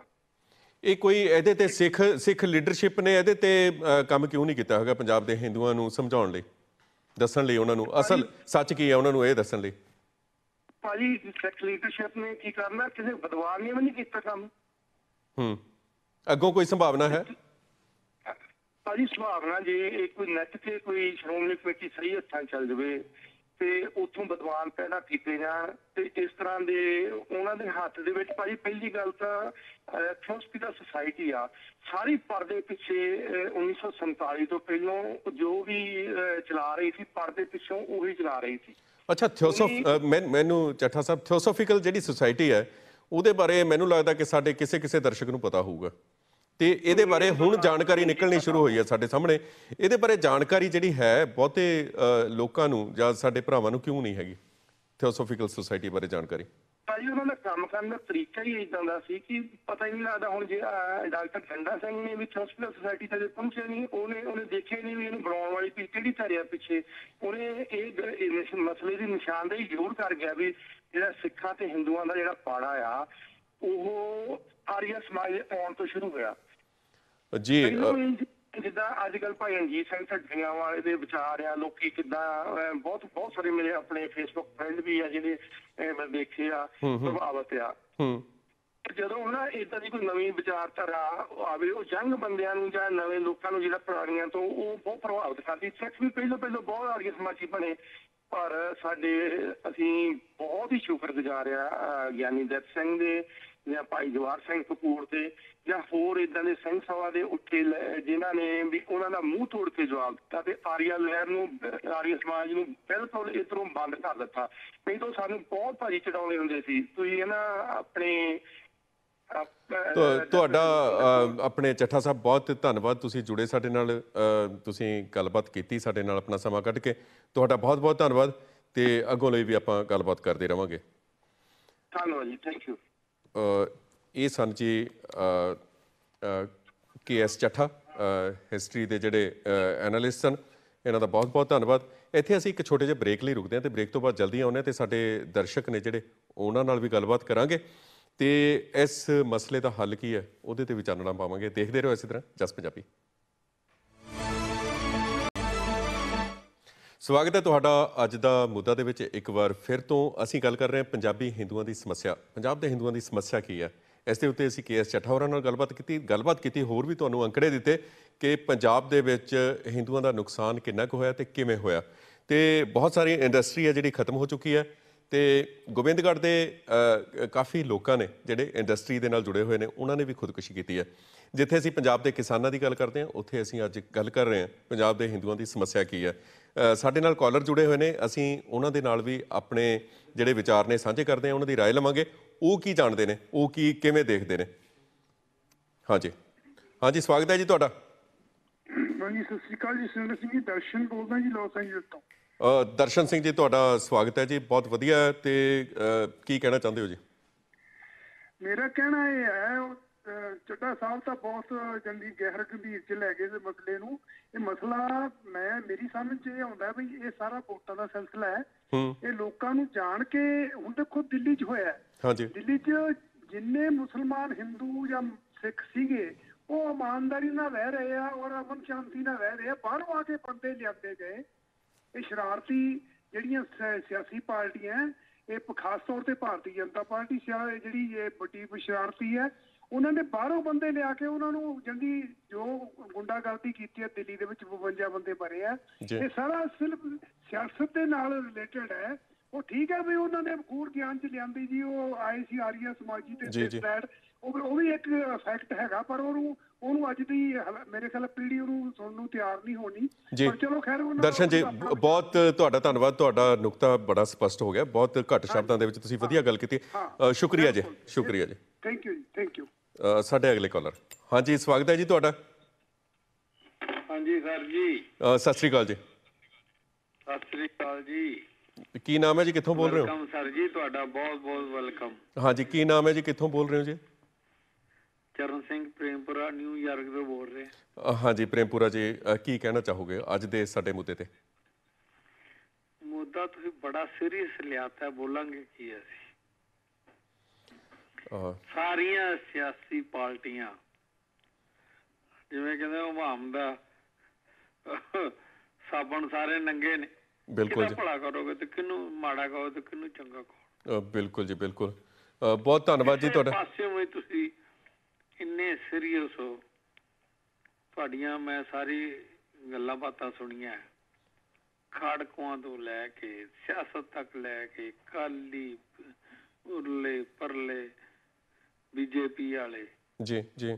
ਸਭ ਖੂਨ ਚ ਨਹਾਏ ਨੇ ਬਿਲਕੁਲ ਸਹੀ ਗੱਲ ਹੈ ਜੀ ਤੁਹਾਡੀ। ਮੈਂ ਤੁਹਾਨੂੰ ਇਹੋ ਜਿਹੀ ਕੋੜੀ ਤੁਹਾਨੂੰ ਸੱਚੀ ਗੱਲ ਦੱਸਤੀ ਸਾਰੇ ਖੂਨ ਚ ਨਹਾ ਕੇ ਕੁਰਸੀ 'ਚ ਗਏ ਨੇ। ਜੀ ਸ਼ੁਕਰੀਆ ਤੁਹਾਡਾ ਆਪਣੇ ਵਿਚਾਰ ਦੇਣ ਲਈ ਬਹੁਤ ਬਹੁਤ ਤੇ ਗੱਲਬਾਤ ਕਰਦੇ ਰਵਾਂਗੇ। ਜੀ। ਥੈਂਕ ਯੂ ਸਾਡੇ ਅਗਲੇ ਜਿਹੜੇ ਕਾਲਰ ਨੇ ਜੀ। ਹੈਲੋ ਹਾਂਜੀ ਸਵਾਗਤ ਹੈ ਜੀ ਤੁਹਾਡਾ। ਹੈਲੋ ਮੈਂ ਸਰਵਿੰਦਰ ਬੇਟਾ ਮੈਂ ਸਰਜੀਤ ਕੌਰ ਬੀਬੀ ਬੋਲਦੀ ਆ ਕੈਲੀਫੋਰਨੀਆ ਤੋਂ ਹੈ ਹਾਂਜੀ ਸਤਿ ਸ੍ਰੀ ਅਕਾਲ ਜੀ ਇਹ ਜਿਵੇਂ ਦੋਨੇ ਪਾਰਟੀਆਂ ਜਾਂ ਸਿਆਸੀ ਪਾਰਟੀਆਂ। ਤੇ ਇਹਨਾਂ ਸਿਆਸਤ ਪਰ ਦੇਖੋ ਕਾਂਗਰਸ ਪਾਰਟੀ ਹੈ ਹਾਂਜੀ। ਸ਼੍ਰੋਮਣੀ ਕਮੇਟੀ ਬਾਦਲ ਦਲ। ਇਹ ਬਸ ਇੱਕ ਦੂਜੇ ਤੇ ਝਾੜੀ ਜਾਂਦੇ ਤੇ ਵਿੱਚੋਂ ਇੱਕੋ ਹੀ ਆਏ ਵਿੱਚੋਂ ਇੱਕੋ ਹੀ। ਤੇ ਜਿਹੜੇ ਹੁਣ ਜਿਹੜੇ ਅਸੀਂ ਸੁਣਦੇ ਹਾਂ ਹਰ ਵਕਤ ਜਿਹੜੀਆਂ ਇਹ ਇਹ ਦੇ ਗੱਲਾਂ ਕਰਦੇ ਆ ਕੇਜੀ ਸਿੰਘ ਕਿੰਨਾ ਝਾੜ ਝਾੜ ਹੁੰਦਾ ਬੀਜੇਪੀ ਦਾ ਹੁੰਦਾ ਤੇ ਇਨਸਾਫ ਪਾਰਟੀ ਦੇ ਹੁੰਦੇ ਸਾਰੇ। ਤੇ ਮੈਂ ਤਾਂ ਇਹੀ ਕਹੂੰਗੀ ਇਹਨਾਂ ਦੋਨਾਂ ਪਾਰਟੀਆਂ ਕਿਉਂ ਸਾਡੇ ਸਿੱਖਾਂ ਤੇ ਇੰਨਾ ਜਹਿਲ ਲਾਉਂਦੇ ਆ? ਸਿੱਖ ਸਿੱਖ ਸਿੱਖ ਸਿੱਖ। ਮਹਾਰਾਜਾ ਰਣਜੀਤ ਸਿੰਘ ਦਾ ਜਦੋਂ ਰਾਜ ਸੀ ਬਹੁਤ ਵਧੀਆ ਸੀਗਾ। ਤੇ 1946 ਦੇ ਵਿੱਚ ਮੇਰੀ ਭੈਣ ਦਾ ਵਿਆਹ ਹੋ ਗਿਆ 1946 ਚ। ਜੀ? ਜੀ। ਉਹ ਤੋਂ ਵਿਆਹ ਸੀ। ਤੇ ਮੇਰੇ ਬਾਪੂ ਜੀ ਨੇ ਸਿਆਲਕੋਟ ਤੋਂ ਘੋੜੀ ਲੈ ਕੇ ਦਿੱਤੀ ਸੀ। ਕਿੰਨੇ ਦੀ ਸੀ? 500 ਦੀ। ਉਹਨਾਂ ਟਾਈਮ ਵਿੱਚ ਅੱਛਾ ਜੀ। ਤੇ ਇਹ 1947 ਦਾ ਵਾ ਛੋਟੀ ਜਿਹੀ ਹੁੰਦੀ ਮੈਨੂੰ ਸਾਰਾ ਪਤਾ। ਸਾਡੇ ਪਿੰਡ ਕੋਈ ਮੁਸਲਮਾਨ ਨਹੀਂ ਸੀ ਮਾਰੇ ਇੰਨਾ ਪਿਆਰ ਸੀ ਬੇਸਾਬੇ ਪਿਆਰ ਸੀ ਬੇਟਾ? ਬਿਲਕੁਲ ਜੀ ਬਿਲਕੁਲ। ਇਹ ਮੈਨੂੰ ਤਾਂ ਨਾ ਦੇਖ ਅੱਗੇ ਰਾਲ ਸਾਹਿਬ ਜਦੋਂ ਕਰਦੇ ਬਹੁਤ ਵਧੀਆ ਉਹਦਾ ਆਏ ਭੌਂ ਤੋਂ ਲਾਦਾ ਉਹ ਉਹ ਤੁਸੀਂ ਕਰਿਆ ਕਰੋ ਜ਼ਰੂਰ ਕਰਿਆ ਕਰੋ ਬਹੁਤ? ਧੰਨਵਾਦ ਜੀ ਜੀ ਤੇ ਮੈਂ ਤੁਹਾਨੂੰ ਲੱਖਾਂ ਕਰੋੜਾਂ ਵਧਾਈਆਂ ਦਿੰਨੀ ਆ ਤੇ ਉਦੋਂ ਕਹਿੰਦੇ ਸੀ ਰਾਲ ਸਾਹਿਬ ਵੀ ਭਾਈ ਜੀ ਸਾਡਾ ਜਸ ਪੰਜਾਬੀ ਅਸੀਂ ਹੁਣ ਟੈਲੀਫੋਨ ਸਟੂਡੀਓ ਬਣਾਉਣਾ ਤੇ ਥੋੜਾ ਬਾਅਦ ਤੇ ਜਿਵੇਂ 200 ਡਾਲਰ ਭੇਜਿਆ ਸੀ ਹੁਣ ਵੀ ਜਿੰਨਾ ਕੁ ਵੈਸੇ ਸਜ਼ਾ ਪਰ ਮੈਂ ਕੰਮ ਕਰਦੀ ਨਹੀਂ ਗੀ ਤੇ ਭੇਜੂਗੀ ਜ਼ਰੂਰ ਵਾਹਿਗੁਰੂ- ਵਾਹਿਗੁਰੂ ਤੁਹਾਨੂੰ ਲੰਮੀ ਉਮਰ। ਬਖਸ਼ੇ ਜੀ। ਬਹੁਤ ਵਧੀਆ ਇਹ ਜਿਹੇ ਮੁੱਦੇ ਲਿਆ ਕਰੋ ਤੇ ਜੀ ਸਾਡੇ ਅਗਲੇ ਕਾਲਰ ਨੇ ਸਾਡੇ ਨਾਲ ਜੁੜੇ ਹੋਏ ਹੈਲੋ ਹੈਲੋ। ਹਾਂਜੀ ਸਵਾਗਤ ਹੈ ਜੀ ਤੁਹਾਡਾ। ਕੀ ਨਾਮ ਹੈ ਤੇ ਕਿੱਥੋਂ ਬੋਲਦੇ ਹੋ? ਮੇਰਾ ਨਾਮ ਪ੍ਰੋਫੈਸਰ ਮੱਖਣ ਸਿੰਘ ਕਰਕੇ ਮੈਨੂੰ ਬੋਲਦੇ ਆ ਜੀ ਤੇ ਮੈਂ ਸੈਕਰਾਮੈਂਟੋ ਤੋਂ ਆ ਹਾਂਜੀ ਸਵਾਗਤ ਹੈ ਮੱਖਣ ਸਿੰਘ ਜੀ। ਤੁਹਾਡਾ ਕੀ ਕਹਿਣਾ ਚਾਹੋਗੇ? ਹਾਂਜੀ ਮੈਂ ਤੁਹਾਡਾ ਸੁਣਿਆ ਪਹਿਲਾਂ ਸੁਰਿੰਦਰ ਸਿੰਘ ਜੀ ਪਹਿਲਾਂ ਤੁਹਾਨੂੰ ਸਤਿ ਸ੍ਰੀ ਅਕਾਲ। ਮੈਂ ਤੁਹਾਡੀ। ਵੇਦਨਾ ਜਿਹੜੀ ਤੁਹਾਡੇ ਨਾਲ ਜੋ ਵਾਪਰਿਆ ਉਹ ਵੀ ਮੈਂ ਪੜਿਆ ਸਾਰਾ ਅਖਬਾਰਾਂ ਵਿੱਚ। ਜੀ ਜੀ। ਤੇ ਜਿਹੜਾ ਮਾਮਲਾ ਤੁਹਾਡਾ ਜਿਹੜਾ ਤੁਸੀਂ ਸ਼ੁਰੂ ਕੀਤਾ ਵੀ ਸਿੱਖ ਕਿੰਨੇ ਮਰੇ? 36000 ਤੋਂ ਉੱਪਰ ਤੇ ਉਹ ਦੂਸਰੇ 1200 ਮਰੇ ਆ ਜੀ। ਉਹਦੇ ਵਿੱਚ ਅੰਕੜਾ ਕਿਉਂ ਇੰਨਾ ਡਿਫਰੈਂਸ ਹੈ? ਦੇਖੋ ਜਿਹੜੀ ਸਿੱਖਾਂ ਦੀ ਡਿਮਾਂਡ ਸ਼ੁਰੂ ਹੋਈ ਆ ਵਿਤਕਰੇ ਤੋਂ ਸ਼ੁਰੂ ਹੋਈ ਆ ਵੀ ਸਿੱਖਾਂ ਨੂੰ ਵਿਤਕਰਾ ਹੁੰਦਾ। ਵਿਤਕਰਾ ਤਾਂ ਬਾਬੇ ਨਾਨਕ ਤੋਂ ਸ਼ੁਰੂ ਹੋ ਗਿਆ ਸੀਗਾ। ਜੀ। ਇਹ ਇਹਨਾਂ ਦੀ ਜਿਹੜੀ ਹਿੰਦੂਆਂ ਦੀ ਲੜਾਈ ਤਾਂ ਉਸ ਵੇਲੇ ਤੋਂ ਸ਼ੁਰੂ ਹੋ ਗਈ ਸੀ ਬਾਬੇ ਨਾਨਕ ਤੋਂ ਹੀ। ਜੀ ਜੀ। ਤਾਂ ਪਹਿਲਾਂ ਕਬੀਰ ਸਾਹਿਬ ਦੇ ਨਾਲ ਵੀ ਹੋਈ ਆ ਰਵਿਦਾਸ ਦੇ ਨਾਲ ਵੀ ਹੋਈ ਆ ਹੋਰ ਵੀ ਸਾਰੇ ਇਹੋ ਜਿਹੇ ਨਾਲ ਹੋਈ ਜਿਹੜੇ ਭਗਤ ਆਪਣੇ ਜਿਨ੍ਹਾਂ ਦੇ ਬਾਣੀ ਵਿੱਚ ਹੈਗਾ ਦਰਜ ਬਾਣੀ। ਹਾਂਜੀ, ਹਾਂਜੀ। ਵਿੱਚ ਬਾਣੀ ਜਿਹਨਾਂ ਦੀ ਦਰਜ ਹੈ। ਸੋ ਇਹ ਤਾਂ ਵੱਖਰਾ ਵੱਖਰਾ ਵਿਸ਼ਾ ਹੈ। ਜੀ। ਜਿਹੜਾ ਕਤਲੇਆਮ ਦੀ ਗੱਲ ਹੈਗੀ ਆ 84 ਦੇ ਬਾਅਦ ਜਾਂ 78 ਤੋਂ ਬਾਅਦ ਜਿਹੜੀਆਂ ਡਿਮਾਂਡ ਸੀਗੀਆਂ ਉਹ ਤਿੰਨ ਮੇਨ ਡਿਮਾਂਡ ਸੀ। ਚੰਡੀਗੜ੍ਹ ਦਾ ਇਸ਼ੂ ਸੀਗਾ ਇੱਕ ਬਿਜਲੀ ਦਾ ਤੇ ਇੱਕ ਪਾਣੀ ਦਾ ਤਿੰਨ ਇਸ਼ੂ ਸੀ। ਹਾਂਜੀ ਹਾਂਜੀ। ਵੀ ਪੰਜਾਬ ਦੇ ਪੰਜਾਬ 'ਚ ਰਹਿਣੇ ਚਾਹੀਦੇ ਆ। ਜੀ ਜੀ। ਉਹ ਤਿੰਨਾਂ ਵਿੱਚ ਮੈਨੂੰ ਇਹ ਸਮਝ ਨਹੀਂ ਆਉਂਦੀ ਵੀ ਹਿੰਦੂਆਂ ਨੇ ਕਿਉਂ ਉਹਦੀ ਵਿਰੋਧਤਾ ਕੀਤੀ ਹੈ। ਉਹਦੇ ਵਿੱਚ ਹਿੰਦੂਆਂ ਨੂੰ ਕੀ ਬਿਜਲੀ ਜੇ ਪੰਜਾਬ ਦੀ ਪੰਜਾਬ ਚ ਰਹਿੰਦੀ ਹਿੰਦੂਆਂ ਦੇ ਘਰਾਂ 'ਚ ਬੰਦ ਕੀਤੀ ਹੈ, ਕਰ ਦਿੱਤੀ ਜਾਣੀ ਸੀ ਤਾਂ ਸਿਰਫ ਸਿੱਖਾਂ ਦੇ ਘਰਾਂ 'ਚ ਆਉਣੀ ਸੀ। ਬਿਲਕੁਲ। ਇਹ ਪਤੇ ਦੀ ਗੱਲ ਕੀਤੀ ਹੈ ਹਾਂ। ਸਿੱਖਾਂ ਦਾ ਸੀਗਾ ਹਿੰਦੂਆਂ ਦਾ ਉਹਦੇ ਵਿੱਚ ਕੋਈ ਹਿੱਸਾ ਨਹੀਂ ਸੀ ਰਹਿਣਾ ਜਿਹੜੇ ਪੰਜਾਬ ਦੇ ਹਿੰਦੂ ਸੀ। ਬਿਲਕੁਲ ਜੀ ਇਹ ਜਿਹੜੀ ਸੋਚ ਸੀਗੀ ਇਹਨੇ ਵੱਡਾ ਵਿਤਕਰਾ ਕ੍ਰੀਏਟ ਕੀਤਾ। ਦੂਸਰੇ ਪਾਸੇ ਜਿਹੜੀਆਂ ਏਜੰਸੀਆਂ ਸੀ ਉਹਨਾਂ ਦਾ ਮੇਨ ਮਕਸਦ ਹੀ ਇਹ ਸੀਗਾ ਵੀ ਇੱਕ ਇੱਕ ਦੂਜੇ ਨਾਲ ਲੜਾਈਏ ਕਿਵੇਂ। ਉਹਨਾਂ ਨੇ ਲੜਾਉਣ ਵਾਸਤੇ ਸਿੱਖਾਂ ਨੂੰ ਅੱਤਵਾਦੀ ਬਣਾਉਣ ਵਾਸਤੇ ਏਜੰਸੀਆਂ ਨੇ ਕੁਝ ਹਿੰਦੂ ਮਾਰੇ। ਉਹ ਹਿੰਦੂ ਮਾਰ ਕੇ ਤੇ ਉਹਨਾਂ ਨੂੰ ਹਾਈਲਾਈਟ ਕਰ ਕਰਕੇ ਸਿੱਖਾਂ ਦੇ ਗਲਾਂ 'ਚ ਮੜਿਆ। ਬਹੁਤ ਧੰਨਵਾਦ ਜੀ ਤੁਹਾਡਾ। ਬਹੁਤ ਤੁਸੀਂ ਪਤੇ ਦੀ ਗੱਲਬਾਤ ਕੀਤੀ ਹੈ ਤੇ ਬਹੁਤ ਸਟੀਕ। ਤੇ ਅਗਲੇ ਸਾਡੇ ਕਾਲਰ ਨੇ ਬ੍ਰੇਕ ਤੋਂ ਪਹਿਲਾਂ ਉਹਨਾਂ ਦੇ ਨਾਲ ਗੱਲਬਾਤ ਕਰਦੇ ਹਾਂ ਦੇਖਦੇ ਹਾਂ ਉਹ ਕੀ ਕਹਿੰਦੇ ਨੇ। ਹੈਲੋ ਹਾਂਜੀ ਸਤਿ ਸ੍ਰੀ ਅਕਾਲ ਜੀ ਸੁਰਿੰਦਰ ਸਿੰਘ ਜੀ। ਸਤਿ ਸ੍ਰੀ ਅਕਾਲ ਜੀ ਕੀ ਨਾਮ ਹੈ ਤੇ ਕਿੱਥੋਂ ਬੋਲਦੇ ਹੋ ਜੀ? ਹਾਂਜੀ ਮੈਂ ਡਾਕਟਰ ਰਸਪਾਲ ਸਿੰਘ ਬਾਜਵਾ ਸ਼ਿਕਾਗੋ ਤੋਂ ਬੋਲ ਰਿਹਾ। ਅ, ਬਾਜਵਾ ਸਾਹਿਬ ਅ, ਸਵਾਗਤ ਹੈ ਸਤਿ ਸ੍ਰੀ ਅਕਾਲ ਕੀ ਕਹੋਗੇ? ਹਾਂਜੀ ਮੈਂ ਇਸ ਇਸ਼ੂ ਨੂੰ ਜਰਾ ਤਿੰਨ ਚਾਰ ਪੁਆਇੰਟ ਤੋਂ ਦੇਖਦਾ। ਹਾਂਜੀ। ਪਹਿਲਾਂ ਤੇ ਹੈ ਕਿ ਜਿਹੜਾ ਆਪਣਾ ਪੰਜਾਬ ਪਹਿਲੇ ਵਾਲਾ ਸੀ ਇਕੱਠਾ ਹੀ ਪਾਕਿਸਤਾਨ ਦਾ ਤੇ ਹੁਣ ਵਾਲਾ। ਹਾਂਜੀ। ਇੱਥੇ ਮੇਨ ਤਿੰਨ ਤਰ੍ਹਾਂ ਦੇ ਲੋਕ ਰਹਿੰਦੇ ਸੀਗੇ। ਹਿੰਦੂ ਸੀ ਮੁਸਲਮਾਨ ਤੇ ਸਿੱਖ। ਹੂੰ। ਸਿੱਖ ਸੀਗੇ। ਔਰ ਉਹ ਜਿਉਂ-ਜਿਉਂ ਟਾਈਮ ਲੰਘਦਾ ਗਿਆ 47 ਦੇ ਲਾਗੇ ਆ ਗਏ। ਹਰ ਪਾਰਟੀ ਨੇ ਆਪਣੀ ਇੱਕ ਪੋਲੀਟੀਕਲ ਵਿੰਗ ਵੀ ਚਲਾ ਰਿਹਾ ਕਿ ਹਰ ਲੋਕਾਂ ਦੀ ਲੋੜ ਬਣ ਜਾਂਦੀ ਹੈ। ਜਿਵੇਂ ਪਹਿਲਾਂ ਕਾਉਂਸਲ 'ਚ ਲੋਕ ਜਾਂਦੇ ਸੀ ਫਿਰ ਡਿਵੀਜ਼ਨ ਹੋ ਗਿਆ। ਅਕਾਲੀ ਦਲ ਵੀ ਬਣ ਗਿਆ ਆਪਣੇ ਆਰੀਆ ਸਮਾਜ ਵੀ ਬਣ ਗਿਆ। ਮੁਸਲਿਮ ਲੀਗ ਵੀ ਬਣ ਗਈ। ਉਹ ਕੁਝ ਆਪਣੇ ਲੋਕਾਂ ਨੂੰ ਅਪੀਲ ਕਰਨ ਲੱਗੇ ਉਸ ਤਰ੍ਹਾਂ ਦਾ ਕੰਮ ਚੱਲਦਾ ਰਿਹਾ। ਜੀ। ਫਿਰ ਮੈਂ ਦੇਖਦਾ ਕਿ ਜਿਹੜਾ ਆਪਾਂ ਪਾਰਟੀਸ਼ਨ ਹੋ ਗਈ ਜਿਹੜਾ ਪਹਿਲੀ ਪ੍ਰੋਬਲਮ ਹਿੰਦੂ ਸਿੱਖ ਦੀ ਪਈ ਹੈ ਨਾ ਜੀ ਜੀ। ਉਹ 50 ਦੇ ਮਿਡ ਦਹਾਕੇ ਦੇ ਟਾਈਮ 'ਚ ਪਈ ਹੈ। ਬਿਲਕੁਲ। ਕਿਉਂਕਿ ਉੱਥੇ ਇੱਕ ਵਾਰੀ ਲੈਂਗੁਏਜ ਦੀ ਆਪਣੀ ਆ ਜਿਹੜੀ ਬੋਲੀ ਦਾ ਮਰਦਮਸ਼ੁਮਾਰੀ difference ਹਾਂ ਮਰਦਮਸ਼ੁਮਾਰੀ ਕਿਵੇਂ ਸੀ ਜਦੋਂ ਹਾਂਜੀ ਬਿਲਕੁਲ ਤੇ ਸਮੱਸਿਆ ਖੜੀ ਹੋ ਗਈ ਸੀ। ਜਗਤ ਨਾਰਾਇਣ ਹੁੰਦੇ ਸੀਗੇ ਜਲੰਧਰ ਤੋਂ ਤੋਂ ਜਲੰਧਰ ਪ੍ਰੈਸ ਹੁੰਦੀ ਸੀ। ਉਹਨੇ ਅਖਬਾਰ 'ਚ ਬਿਆਨ ਜਾਰੀ ਕਰਕੇ ਕਿਹਾ ਸੀ ਕਿ ਪੰਜਾਬ ਦੇ ਹਿੰਦੂ ਨੇ ਆਪਣੀ ਬੋਲੀ ਹਿੰਦੀ ਲਿਖਵਾਉਣ। ਸਾਡੇ ਕੋਲ ਸਾਡੇ ਕੋਲ ਸਮਾਂ ਘੱਟ ਹੈ ਅੱਧੇ ਮਿੰਟ 'ਚ ਆਪਣੀ ਅੱਧੇ ਮਿੰਟ 'ਚ ਗੱਲ ਪੂਰੀ ਕਰ ਦਿਓ। ਹੋਰ। ਉਹ ਉੱਥੋਂ ਚੱਲਿਆ ਚਲੋ ਫਿਰ ਖਾੜਕੂਵਾਦ ਆਇਆ ਥੋੜਾ ਉਹਦੇ 'ਚ ਫ਼ਰਕ ਪਿਆ। ਪਰ ਜਿਹੜੀ ਹੁਣ ਤੁਸੀਂ ਇੱਕ ਹੋਰ ਗੱਲ ਕਹੀ ਮੈਨੂੰ ਉਹ ਤੋਂ ਜ਼ਿਆਦਾ ਇੰਪੋਰਟੈਂਟ ਹੈ। ਹੂੰ। ਬਈ ਪੰਜਾਬ ਚੋਂ ਜਿਹੜੇ ਸਿੱਖ ਹੈ ਉਹ ਮਾਈਗ੍ਰੇਟ ਬਾਹਰ ਬਹੁਤ ਕਰ ਰਹੇ। ਜੀ। ਸਾਡੀ ਗਿਣਤੀ ਉੱਥੇ ਘਟੇਗੀ ਜਿਵੇਂ ਹੋ ਰਹੀ ਹੈ। ਜੀ। ਪਰ ਜਿਵੇਂ ਹਿੰਦੂ ਵੀ ਤੁਸੀਂ ਕਿਹਾ ਵੀ ਥੋੜਾ ਬਹੁਤ ਉਹ ਵੀ ਜਾ ਰਿਹਾ ਉਹ ਵੀ ਠੀਕ ਹੈ। ਪਰ ਉਹਨਾਂ ਦੇ ਬਕਾਇਦਾ ਆ ਰਹੇ ਹੈ ਬਿਲਕੁਲ। ਬਿਹਾਰ ਤੋਂ ਯੂਪੀ ਤੋਂ ਦੂਜੇ ਤੋਂ। ਇਹ- ਇਹਦੇ ਇਹਦੇ ਬਾਰੇ ਇਹਦੇ ਬਾਰੇ ਮੈਂ ਮੈਂ ਪ੍ਰੋਗਰਾਮ ਨੂੰ ਕਨਕਲੂਡ ਕਰਦਾ ਹੋਇਆ ਅੰਤ ਦੇ ਵਿੱਚ ਆਪਣੀ ਟਿੱਪਣੀ ਦਵਾਂਗਾ। ਬਹੁਤ ਬਹੁਤ ਧੰਨਵਾਦ ਜੀ ਤੁਹਾਡਾ। ਤੁਸੀਂ ਜੁੜੇ ਸਾਡੇ ਨਾਲ। ਸਤਿ ਸ੍ਰੀ ਅਕਾਲ। ਸੋ ਗੱਲਾਂ ਬਾਤਾਂ ਕਾਫੀ ਗੰਭੀਰ ਨੇ। ਸਾਡੇ ਜਿਹੜੇ ਦਰਸ਼ਕ ਨੇ ਉਹਨਾਂ ਦੀਆਂ ਵੀ। ਇਸ ਗੰਭੀਰਤਾ ਦੇ ਚੱਲਦੇ ਇੱਕ ਛੋਟਾ ਜਿਹਾ ਬ੍ਰੇਕ ਲੈਣੇ ਆ ਬ੍ਰੇਕ ਤੋਂ ਬਾਅਦ ਬਾਕੀ ਦੀ ਗੱਲਬਾਤ ਨੂੰ ਅੱਗੇ ਤੋਰਾਂਗੇ। ਜੁੜੇ ਰਹੋ ਜਸ ਪੰਜਾਬੀ ਨਾਲ। ਬ੍ਰੇਕ ਤੋਂ ਬਾਅਦ ਤੁਹਾਡਾ ਸਾਰਿਆਂ ਦਾ ਇੱਕ ਵਾਰ ਫਿਰ ਤੋਂ ਸਵਾਗਤ ਹੈ ਸਾਡੇ ਵਿਸ਼ੇਸ਼ ਪ੍ਰੋਗਰਾਮ ਅੱਜ ਦਾ ਮੁੱਦਾ ਦੇ ਵਿੱਚ। ਅਸੀਂ ਗੱਲ ਕਰ ਰਹੇ ਹਾਂ ਪੰਜਾਬ ਦੇ ਹਿੰਦੂਆਂ ਦੀ ਸਮੱਸਿਆ, ਕੀ ਹੈ ਸਮੱਸਿਆ? ਮੈਂ ਤੁਹਾਨੂੰ ਦੱਸ ਦਿਆਂ ਕਿ ਜਦੋਂ ਅਸੀਂ ਉਹਨਾਂ ਕਤਲਾਂ ਦੇ ਅੰਕੜੇ ਅੱਜ ਤੁਹਾਡੇ ਨਾਲ ਸਾਂਝੇ ਕਰ ਰਹੇ ਸਾਂ, ਇੱਕ ਸਤੰਬਰ 1984 ਸਤੰਬਰ ਜੂਨ 1984 ਤੋਂ ਬਾਅਦ ਸਤੰਬਰ 1984 ਦਾ ਇੱਕ ਸੂਰਿਆ ਰਸਾਲਾ ਹੈ। ਜੇ ਤੁਸੀਂ ਉਹ ਸੂਰਿਆ ਰਸਾਲਾ ਕਿਤੇ ਤੁਹਾਨੂੰ ਮਿਲਦਾ, ਜੇ ਉਹ ਤੁਸੀਂ ਪੜ੍ਹੋ, ਦੇਖੋ, ਉਸ ਦੇ ਵਿੱਚ ਅਜਿਹੇ ਖੁਲਾਸੇ ਕੀਤੇ ਗਏ ਨੇ ਜਿਸ ਦੇ ਵਿੱਚ ਰਾ ਏਜੰਸੀ ਵੱਲੋਂ ਥਰਡ ਏਜੰਸੀ ਵੱਲੋਂ ਹਥਿਆਰ ਕਿਵੇਂ ਪੰਜਾਬ ਦੇ ਵਿੱਚ ਜਿਹੜੇ ਸਮਗਲ ਕੀਤੇ ਗਏ ਉੱਥੇ ਪਹੁੰਚਾਏ ਗਏ ਉਹਨਾਂ ਦੇ ਬਾਰੇ ਜਾਣਕਾਰੀ ਦਿੱਤੀ ਗਈ ਹੈ ਤੇ ਕਿਹੜੇ-ਕਿਹੜੇ ਰਾਹ ਦੇ ਜਿਹੜੇ ਅਫਸਰ ਸਨ ਤੀਜੀ ਏਜੰਸੀ ਦੇ ਅਫਸਰ ਸਨ ਉਹਨਾਂ ਨੇ ਪੰਜਾਬ ਦੇ ਵਿੱਚ ਸਿੱਖ ਭੇਸ ਦੇ ਵਿੱਚ ਦਰਬਾਰ ਸਾਹਿਬ ਰਹਿ ਕੇ ਕਿਸ ਤਰ੍ਹਾਂ ਉਹਨਾਂ ਨੇ ਜਿਹੜਾ ਆਪਣਾ ਆਪਣਾ ਰੋਲ ਨਿਭਾਇਆ ਤੇ ਅ, 1984 ਤੋਂ ਪਹਿਲਾਂ ਜਦੋਂ ਦਰਬਾਰਾ ਸਿੰਘ ਦੀ ਸਰਕਾਰ ਡਿੱਗੀ ਹੈ ਮੈਨੂੰ ਲੱਗਦਾ ਕਿ 1982 83 ਦੀ ਗੱਲ ਹੈ 82 ਦੀ ਗੱਲ ਹੈ ਇਹ ਕਿ ਜਦੋਂ ਢਿੱਲਵਾਂ 'ਚ ਇੱਕ ਬੱਸ ਨੂੰ ਰੋਕ ਕੇ ਜਿਹੜੇ ਇੱਕੋ ਫਿਰਕੇ ਨਾਲ ਸੰਬੰਧਿਤ, ਮਤਲਬ ਹਿੰਦੂ ਧਰਮ ਨਾਲ ਸੰਬੰਧਿਤ ਬੰਦਿਆਂ ਨੂੰ ਕਤਲ ਕੀਤਾ ਗਿਆ ਉੱਥੇ, ਤੇ ਉਸ ਤੋਂ ਬਾਅਦ ਦਰਬਾਰਾ ਸਿੰਘ ਨੇ ਉਸੇ ਰਾਤ ਨੂੰ ਅਸਤੀਫਾ ਦੇ ਦਿੱਤਾ ਸੀ, ਸਰਕਾਰ ਟੁੱਟ ਗਈ ਸੀ। ਤੇ ਉਹ ਸਾਰਾ ਜਿਹੜਾ ਭਾਂਡਾ ਸੀ, ਸਿੱਖ ਜਥੇਬੰਦੀਆਂ ਤੇ ਜਾਂ ਸਿੱਖ ਜੁਝਾਰੂਆਂ ਤੇ ਉਹ ਭਾਂਡਾ ਭੰਨਿਆ ਗਿਆ ਤੇ ਉਹਨਾਂ ਦੇ ਨਾਮ ਲਾਇਆ ਗਿਆ। ਤੇ ਇਸ ਬੱਸ ਕਾਂਡ ਦਾ ਵੀ ਜ਼ਿਕਰ ਸਤੰਬਰ 1984 ਦੇ ਉਸ ਸੂਰਿਆ ਨਾਮ ਦੇ ਰਸਾਲੇ ਦੇ ਵਿੱਚ ਦਰਜ ਹੈ।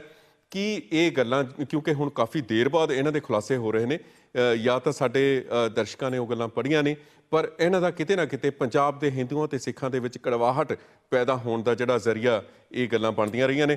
ਸਾਡੇ ਨਾਲ ਜੁੜੇ ਹੋਏ ਨੇ ਸਾਡੇ ਕਾਲਰ ਉਹਨਾਂ ਦੇ ਨਾਲ ਵੀ ਅਸੀਂ ਨਾਲ ਨਾਲ ਗੱਲਬਾਤ ਕਰਦੇ ਹਾਂ ਦੇਖਦੇ ਹਾਂ ਉਹਨਾਂ ਦੇ ਵਿਚਾਰ ਕੀ ਨੇ। ਹੈਲੋ? ਹਾਂਜੀ ਸਤਿ ਸ੍ਰੀ ਅਕਾਲ ਜੀ। ਸਤਿ ਸ੍ਰੀ ਅਕਾਲ ਜੀ ਕੀ ਨਾਮ ਹੈ ਜੀ? ਕਿੱਥੋਂ ਬੋਲ ਰਹੇ ਹੋ ਤੁਸੀਂ? ਮੈਂ ਟ੍ਰੇਸੀ ਤੋਂ ਬੋਲ ਰਿਹਾ ਜੀ ਗੁਰਿੰਦਰ ਸਿੰਘ ਗਰੇਵਾਲ। ਸਵਾਗਤ ਹੈ ਗਰੇਵਾਲ ਸਾਹਿਬ ਤੁਹਾਡਾ ਕੀ ਕਹਿਣਾ ਚਾਹੋਗੇ ਜੀ? ਦੇਖੋ ਉਨ- 1947 ਦੇ ਵਿੱਚ ਤੋਂ ਬਾਅਦ ਮਾਸਟਰ ਤਾਰਾ ਸਿੰਘ ਬਹੁਤ ਪਪੂਲਰ ਸੀਗੇ। ਹਿੰਦੂ ਫੈਮਿਲੀ ਤੋਂ ਸਿੱਖ ਬਣੇ ਸੀਗੇ। ਜੀ। ਤੇ ਪੰਜਾਬ ਦੇ ਯੂਨਾਈਟਿਡ ਪੰਜਾਬ ਦੇ ਉਹ ਲੀਡਰ ਹਿੰਦੂ ਸਿੱਖਾਂ ਦੇ ਬਣ ਰਹੇ ਸੀਗੇ। ਜੀ। ਕਾਂਗਰਸ ਨੂੰ ਇਹ ਠੀਕ ਨਹੀਂ ਲੱਗਦਾ ਸੀ। ਉਦੋਂ ਤੋਂ ਕਾਂਗਰਸ ਨੇ ਡਿਵਾਈਡ ਐਂਡ ਰੂਲ ਦੀ ਅੰਗਰੇਜ਼ਾਂ ਵਾਲੀ ਪਾਲਿਸੀ ਕੀਤੀ। ਜੀ। ਜਿਹੜੇ ਜਲੰਧਰ ਦੇ ਹਿੰਦੂ ਖਵਾਰ ਸੀਗੇ ਉਹਨਾਂ ਨੇ ਪੰਜਾਬੀ ਨੂੰ ਆਪਣੀ ਮਾਂ ਬੋਲੀ ਮੰਨਣ ਤੋਂ ਇਨਕਾਰ ਕੀਤਾ ਤੇ ਜ਼ਹਿਰ ਰੁਕਰਿਆ ਜੀ ਜੀ। ਉਹਨਾਂ ਦਾ ਇਹਦੇ ਵਿੱਚ ਬਹੁਤ ਵੱਡਾ ਰੋਲ ਆ। ਜੀ। ਦੇਖੋ ਸੰਤ ਜਰਨੈਲ ਸਿੰਘ ਨੇ ਹਿੰਦੂ ਪ੍ਰੋਫੈਸਰ ਨੂੰ ਜਦੋਂ ਚੰਡੀਗੜ੍ਹ ਕਿਸੇ ਨੇ ਮਾਰਿਆ ਹਾਂਜੀ। ਕਿੰਨਾ ਦੁੱਖ ਪ੍ਰਗਟ ਕੀਤਾ। ਦੁੱਖ ਪ੍ਰਗਟ ਕੀਤਾ ਸੀ ਮੈਨੂੰ ਯਾਦ ਹੈ ਜੀ ਹਾਂ ਪੜ੍ਹੇ ਹੋਏ ਨੇ ਅਖਬਾਰ। ਹੂੰ ਕਿਸੇ ਕਿਸੇ ਸਿੱਖ ਨੇ ਗਵਾਂਢੀ ਹਿੰਦੂ ਨੂੰ ਕਦੇ ਨਹੀਂ ਮਾਰਿਆ ਕਿਸੇ ਹਿੰਦੂ ਨੇ ਗਵਾਂਢੀ ਸਿੱਖ ਨੂੰ ਨਹੀਂ ਮਾਰਿਆ। ਬਿਲਕੁਲ। ਇਹ ਹਿੰਦੂ ਭਰਾਵਾਂ ਨੂੰ ਵੀ ਸਮਝਣ ਦੀ ਲੋੜ ਆ ਵੀ ਪੰਜਾਬ ਸਭ ਦਾ ਸਾਂਝਾ ਜੀ। ਇੱਕੋ ਹੀ ਇੱਕੋ ਹੀ ਮਿਸਾਲ ਹੈ ਜਿਹੜੀ ਅਮਰਿੰਦਰ ਸਿੰਘ ਕਰ ਸਕਿਆ ਕਿ ਜਦੋਂ ਪੰਜਾਬ ਦੇ ਪਾਣੀਆਂ ਦਾ ਡਿਸਕਸ਼ਨ ਹੋਈ ਸਾਰੇ ਐਮਐਲਏ 100% ਜੀ। ਉਹਨਾਂ ਨੇ ਪੰਜਾਬ ਦੇ ਵਿੱਚ ਹੱਕ ਦੇ ਵਿੱਚ ਵੋਟ ਪਾਏ। ਬਿਲਕੁਲ। ਤੋਂ ਸਾਡੀ ਬੇਨਤੀ ਇਹ ਹੈ ਕਿ ਜਿਹੜਾ ਵੀ ਕੁਝ ਸੁਣ ਰਿਹਾ ਆ ਇਹਨੂੰ ਹਿੰਦੂ ਤੇ ਸਿੱਖ ਦਾ ਰਿਸ਼ਤਾ ਜਿਹੜਾ ਆ ਇਹਨੂੰ ਚੰਗਾ ਕਰਨਾ ਚਾਹੀਦਾ ਕਮਜ਼ੋਰ ਨਹੀਂ ਕਰਨਾ ਚਾਹੀਦਾ। ਜੀ ਗਰੇਵਾਲ ਸਾਹਿਬ ਬਹੁਤ ਧੰਨਵਾਦ ਜੀ ਤੁਹਾਡਾ। ਜੀ। ਪੰਜਾਬ ਦੇ ਹਿੰਦੂਆਂ ਦਾ ਵੀ ਉਨਾ ਹੀ ਹੱਕ ਉੱਥੇ ਰਹਿਣ ਦਾ ਜਿੰਨਾ ਸਿੱਖਾਂ ਦਾ। ਜੀ ਗਰੇਵਾਲ ਸਾਹਿਬ। ਥੈਂਕ ਯੂ ਜੀ। ਹੈਲੋ। ਹਾਂਜੀ ਸਵਾਗਤ ਹੈ ਜੀ ਤੁਹਾਡਾ। ਹੈਲੋ ਸਤਿ ਸ਼੍ਰੀ ਅਕਾਲ ਜੀ ਸੰਦਰ ਸਿੰਘ ਜੀ। ਸਤਿ ਸ੍ਰੀ ਅਕਾਲ ਜੀ ਕੀ ਨਾਮ ਹੈ ਵੀਰ ਜੀ ਤੁਹਾਡਾ ਕਿੱਥੋਂ ਬੋਲ ਰਹੇ ਹੋ? ਮੇਰਾ ਨਾਮ ਜੀ ਹਰਭਜਨ ਸਿੰਘ ਢਿੱਲੋਂ ਆ ਜੀ ਹਰਪ੍ਰੀਤ ਦਾ ਡੈਡੀ ਆ। ਜੀ ਸਵਾਗਤ ਹੈ ਜੀ। ਕੀ ਕਹਿਣਾ ਚਾਹੋਗੇ? ਸੋ ਮੈਂ ਇਸ ਗੱਲ ਤੇ ਜਿਹੜਾ ਆਪਣਾ ਮਸਲਾ ਚੱਲ ਰਿਹਾ ਨਾ ਕਿ ਹਿੰਦੂ ਜਾਂ ਸਿੱਖ ਜਾਂ ਕਿਸੇ ਦਾ ਹਿੰਦੂਆਂ ਦਾ ਕੀ ਕਸੂਰ ਹੈ ਜਾਂ ਕਿੱਦਾਂ ਹੈ ਨਾ ਜੀ? ਹਾਂਜੀ। ਪਰ ਮਸਲਾ ਇਹ ਹੈ ਵੀ ਸੁੰਦਰ ਸਿੰਘ ਜੀ ਜੇ ਨਾ ਪਾਕਿਸਤਾਨ ਦਾ ਬਾਰਡਰ ਹੀ ਨਾ ਬਣਦਾ ਅੱਜ ਇੰਡੀਆ ਦੀ ਕੁਝ ਹੋਰ ਤਰ੍ਹਾਂ ਦੀ ਕਹਾਣੀ ਹੋਣੀ ਸੀ। ਬਿਲਕੁਲ। ਜੇ ਪਾਕਿਸਤਾਨ ਦਾ ਬਾਰਡਰ ਨਾ ਬਣਦਾ ਸ਼ਾਇਦ ਇਹਨਾਂ ਤੁਹਾਡੀ ਆਵਾਜ਼ ਕੱਟ ਰਹੀ ਹੈ ਇੱਕ ਥਾਂ ਖੜ ਕੇ ਫੋਨ ਕਰੋ ਜੀ ਗੱਲ ਕਰੋ। ਹੈਲੋ ਹਾਂਜੀ। ਹਾਂਜੀ ਇੱਕ ਥਾਂ ਹੈ ਹੁਣ? ਠੀਕ ਹੈ। ਬਾਕੀ ਇਹ ਵੀ ਜਦੋਂ ਵੀ ਅਸੀਂ ਬਚਪਨ ਤੋਂ ਦੇਖਦੇ ਆਏ ਹਾਂ ਕਿ ਲੜਾਈਆਂ ਪਾਕਿਸਤਾਨ ਲੱਗੀਆਂ ਤੁਸੀਂ ਤੁਹਾਡੀ ਤੁਹਾਡੀ ਆਵਾਜ਼ ਕੱਟ ਰਹੀ ਹੈ। ਤੁਸੀਂ ਤੁਸੀਂ ਕੱਟ ਕੇ ਕਰ ਲਓ ਫੋਨ। ਮੈਨੂੰ ਆਵਾਜ਼ ਕਾਫੀ ਤੁਹਾਡੀ ਡਿਸਟਰਬ ਹੋ ਰਹੀ ਹੈ।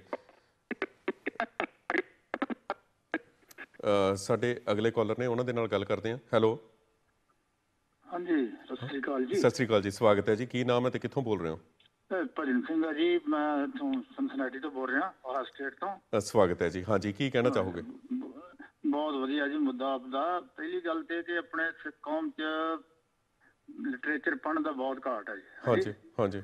ਤੇ ਦੂਸਰੀ ਗੱਲ ਇਹ ਆਰੀਆ ਸਮਾਜੀ ਦਾ ਵਾਕਿਆ ਜੀ ਉਹ ਗੁਜਰਾਤੀ ਸੀ ਨਾਗਾ ਫਿਰ ਬੰਗਾਲ ਗਿਆ ਬੰਗਾਲ ਤੋਂ ਫਿਰ ਲਾਹੌਰ ਆਇਆ। ਹੂੰ ਹੂੰ। ਤੇ ਉਹਨੇ ਹੀ ਇਹ ਜਿਹੜਾ ਉਹਦੀ ਆਰੀਆ ਸਮਾਜੀ ਕਿਤਾਬ ਮੈਨੂੰ ਪੜ੍ਹਨ ਦਾ ਮੌਕਾ ਮਿਲਿਆ। ਜੀ। ਹਾਂਜੀ।